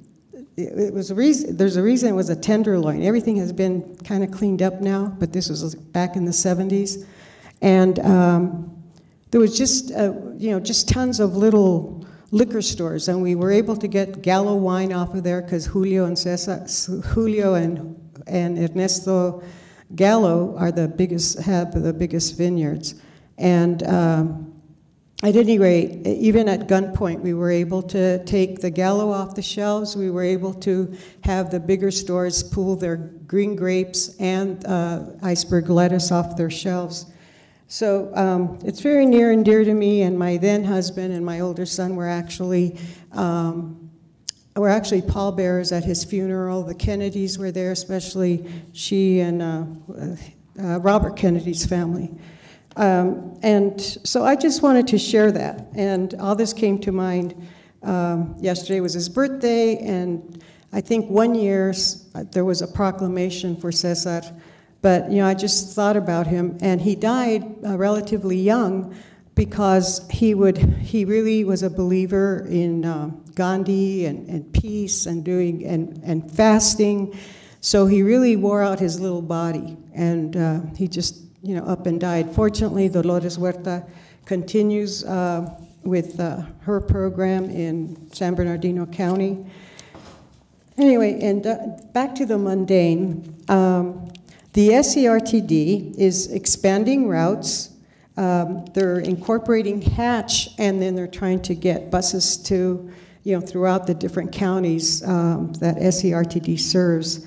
Um, and um, the, uh, the prospective um, uh, money that's coming in is we're getting more and more federal money. Um, the electric buses uh, are in line to be rolled out.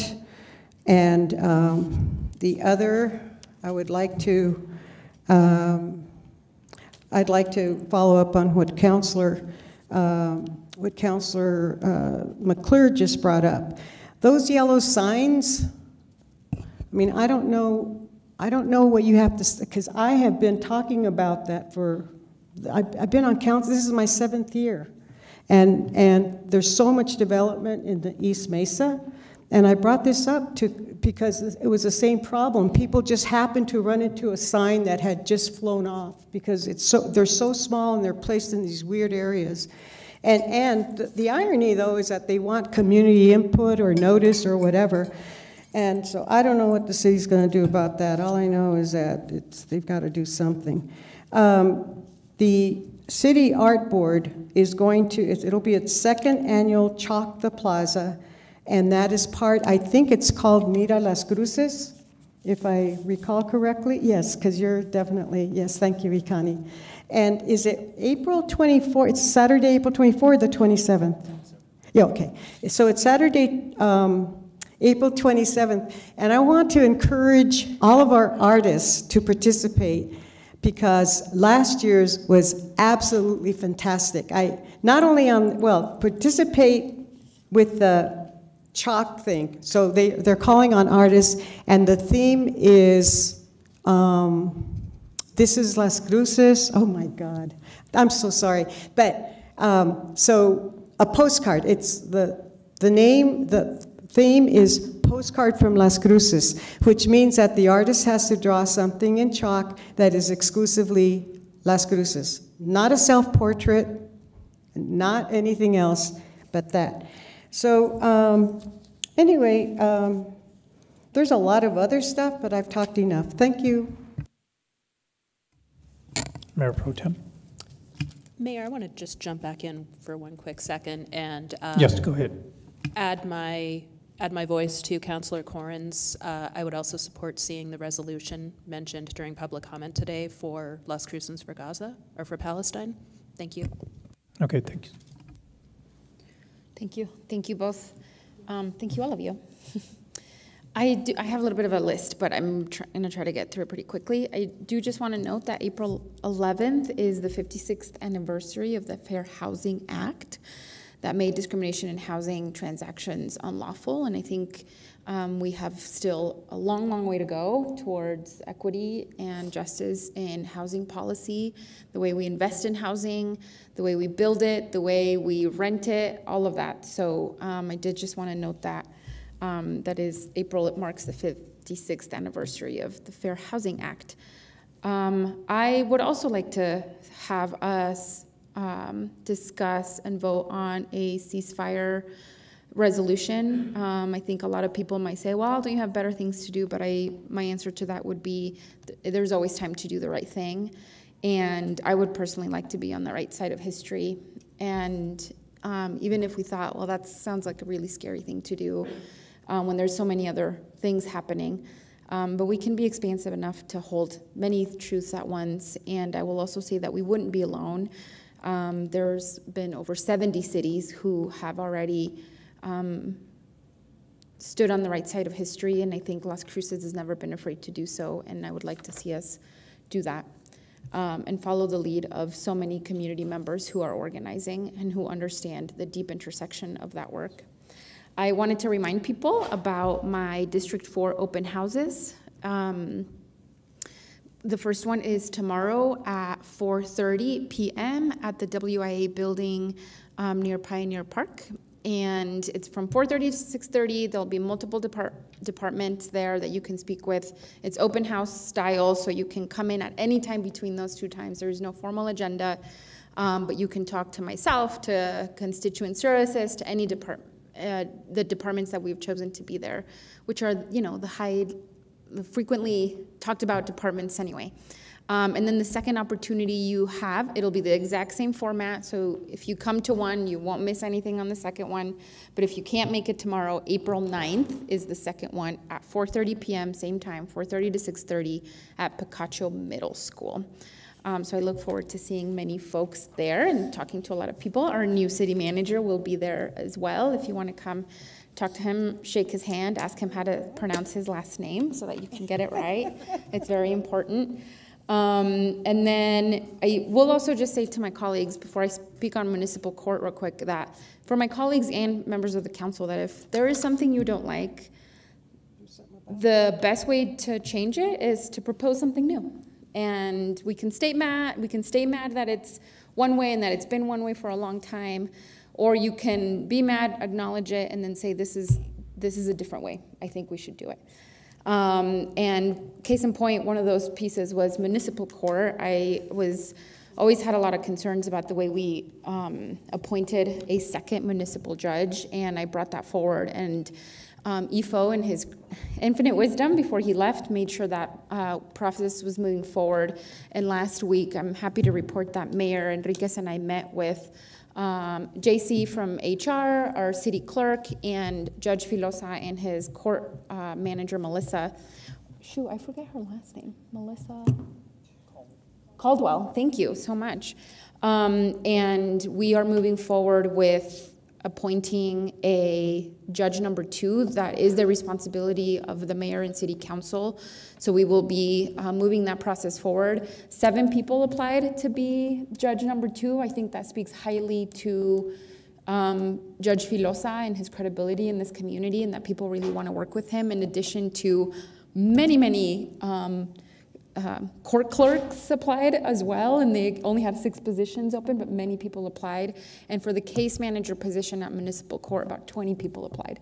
And of course, there's only one position, and I, I think that speaks highly to the investment that we're making in municipal court, but also that people, I think, really want to work with someone like Judge Filosa. And I'm excited to move that forward because I think municipal court is a critical piece of the puzzle when we're talking about community safety and um, adequate and meaningful interventions for community members who are struggling. So very excited about that. Um, and then I do want to just, I think there's some misconception about um, lobbying and Santa Fe for the city. Do I think there could be improvements? Yeah, absolutely. I think there's always room for improvement um, and for a better way for us to do uh, Santa Fe as a team. But we have a lobbyist um, Larry Horan, who is frankly an incredible advocate for the city. When when we have a vote on the pieces on capital outlay projects that we want to put forth, and in past years we've also done resolutions on specific policies that we want to support. Larry is an incredible advocate for the city. The times that I have been to Santa Fe, don't get me wrong, you know we're not just like going to Santa Fe flailing around hoping to get attention though that's what it feels like when you're in Santa Fe in the roundhouse. That's certainly what I feel like in this like circle of death almost. Um, but I do, every time I've gone with Larry, I notice that everybody in that building knows him. Like he has got an incredible reputation, and I think he is a great advocate for Las Cruces. But I do think that we need to start our um, efforts much faster, much sooner than November, December, perhaps in the summertime. Um, so I do think there is room, significant room for improvement. Um, let me mark off my pieces. And then I just do want to congratulate Ikani once again, and of course, every single person who applied and the people who we um, interviewed. And I just have so much love and respect for um, the public servants of the city. And I've said this many times, up, us up here, we come and go. And you, many of you have committed your life's work to public service and to this beautiful city and to helping it make it better and grow faster and stronger. And um, I have just the utmost admiration for every single one of you for the dedication um, that you have for our city. So I really want to thank all of you in the audience, and you know who you are, and I just, I'm always so impressed. And I did get a lot of feedback about um, how, how excited people are about Ikani. Ikani, you've made an incredible impression in your short time here, um, and people like you very much, but I also got a lot of feedback about how brave it was that we went internal. Um, I don't know that I felt brave doing it. To me, it was like, yeah, duh, that's right. Four years ago, that wasn't, you know, we weren't there, and this year it felt that was right. And um, I couldn't be more grateful for, for the outcome and just to be exposed to the talent and wisdom that we have in this city. Um, and then, of course, Ifo might not be turning it, tuning in, or maybe he is, I don't know. Uh, maybe he's bored in West Valley and he's tuning in. Um, so I, if he is, and I will also just, his last, his official last day was yesterday, and I just want to publicly name how much Ifo Pili meant to me as a councilor, to the city, how um, how much of a strong he was such a strong city manager, and um, he made a significant impact. And I of course told him privately um, a goodbye, but I just wanted to officially say that on the dais as well. And that will be it for me today, Mayor. Thank you.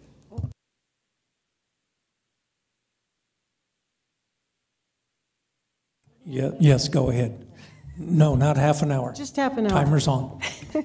Okay, I, I was remiss. Thank you, Ikani, for accepting the offer. Or have you accepted? I hope so. Oh, you have until? Okay. I hope, no, well, yeah, oh, oh, okay.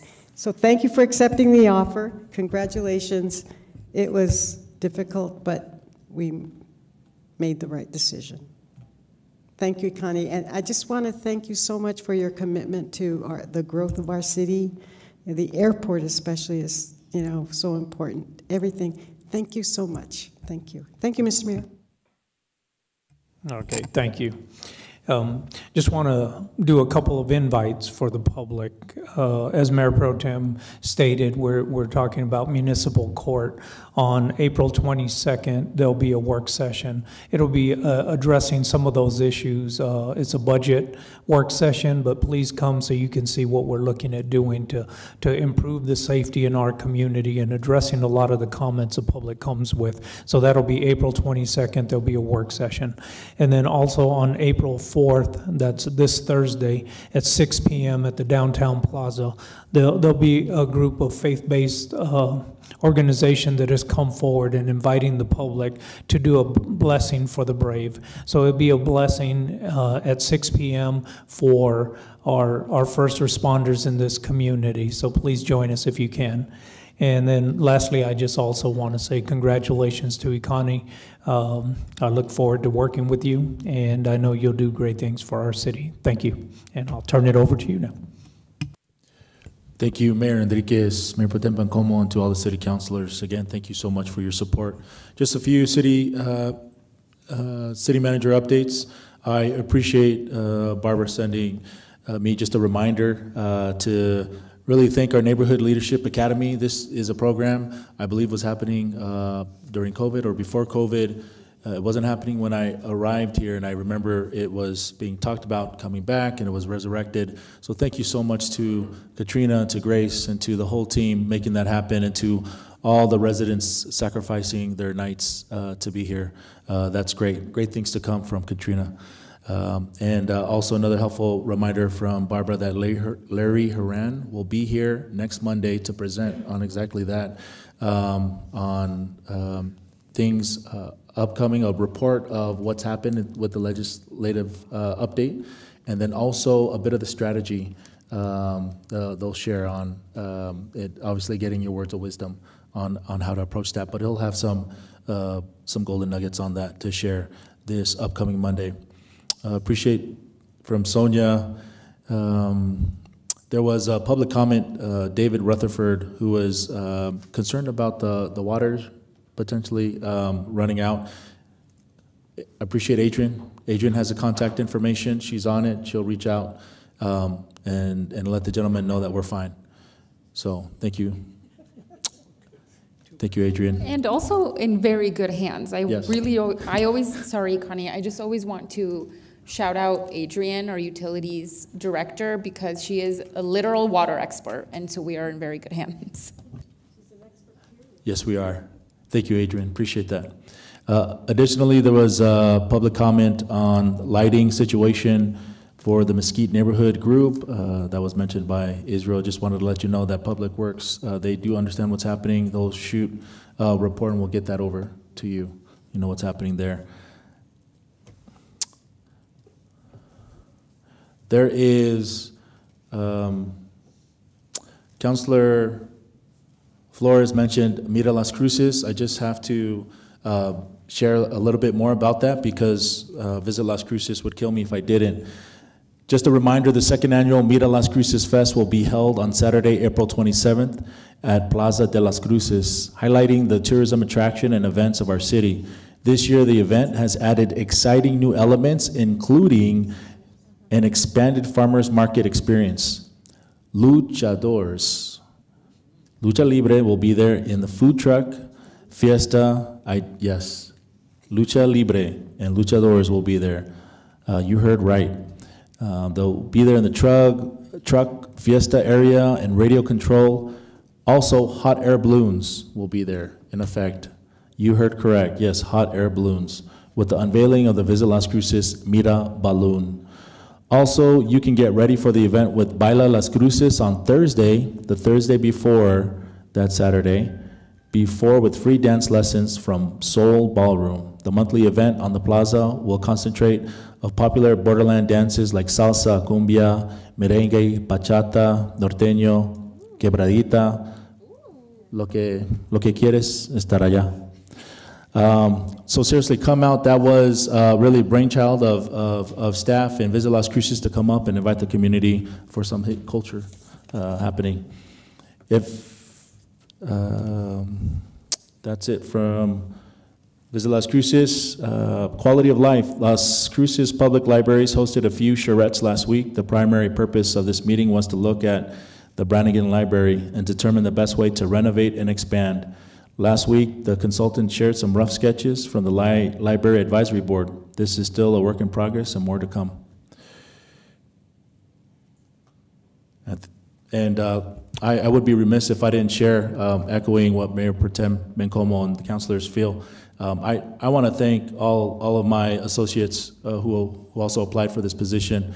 Um, you, councilors, uh, mayor, mayor pro tem would have been in fine hands with any of those candidates. I strongly believe that, and I would have gladly supported um, any of them.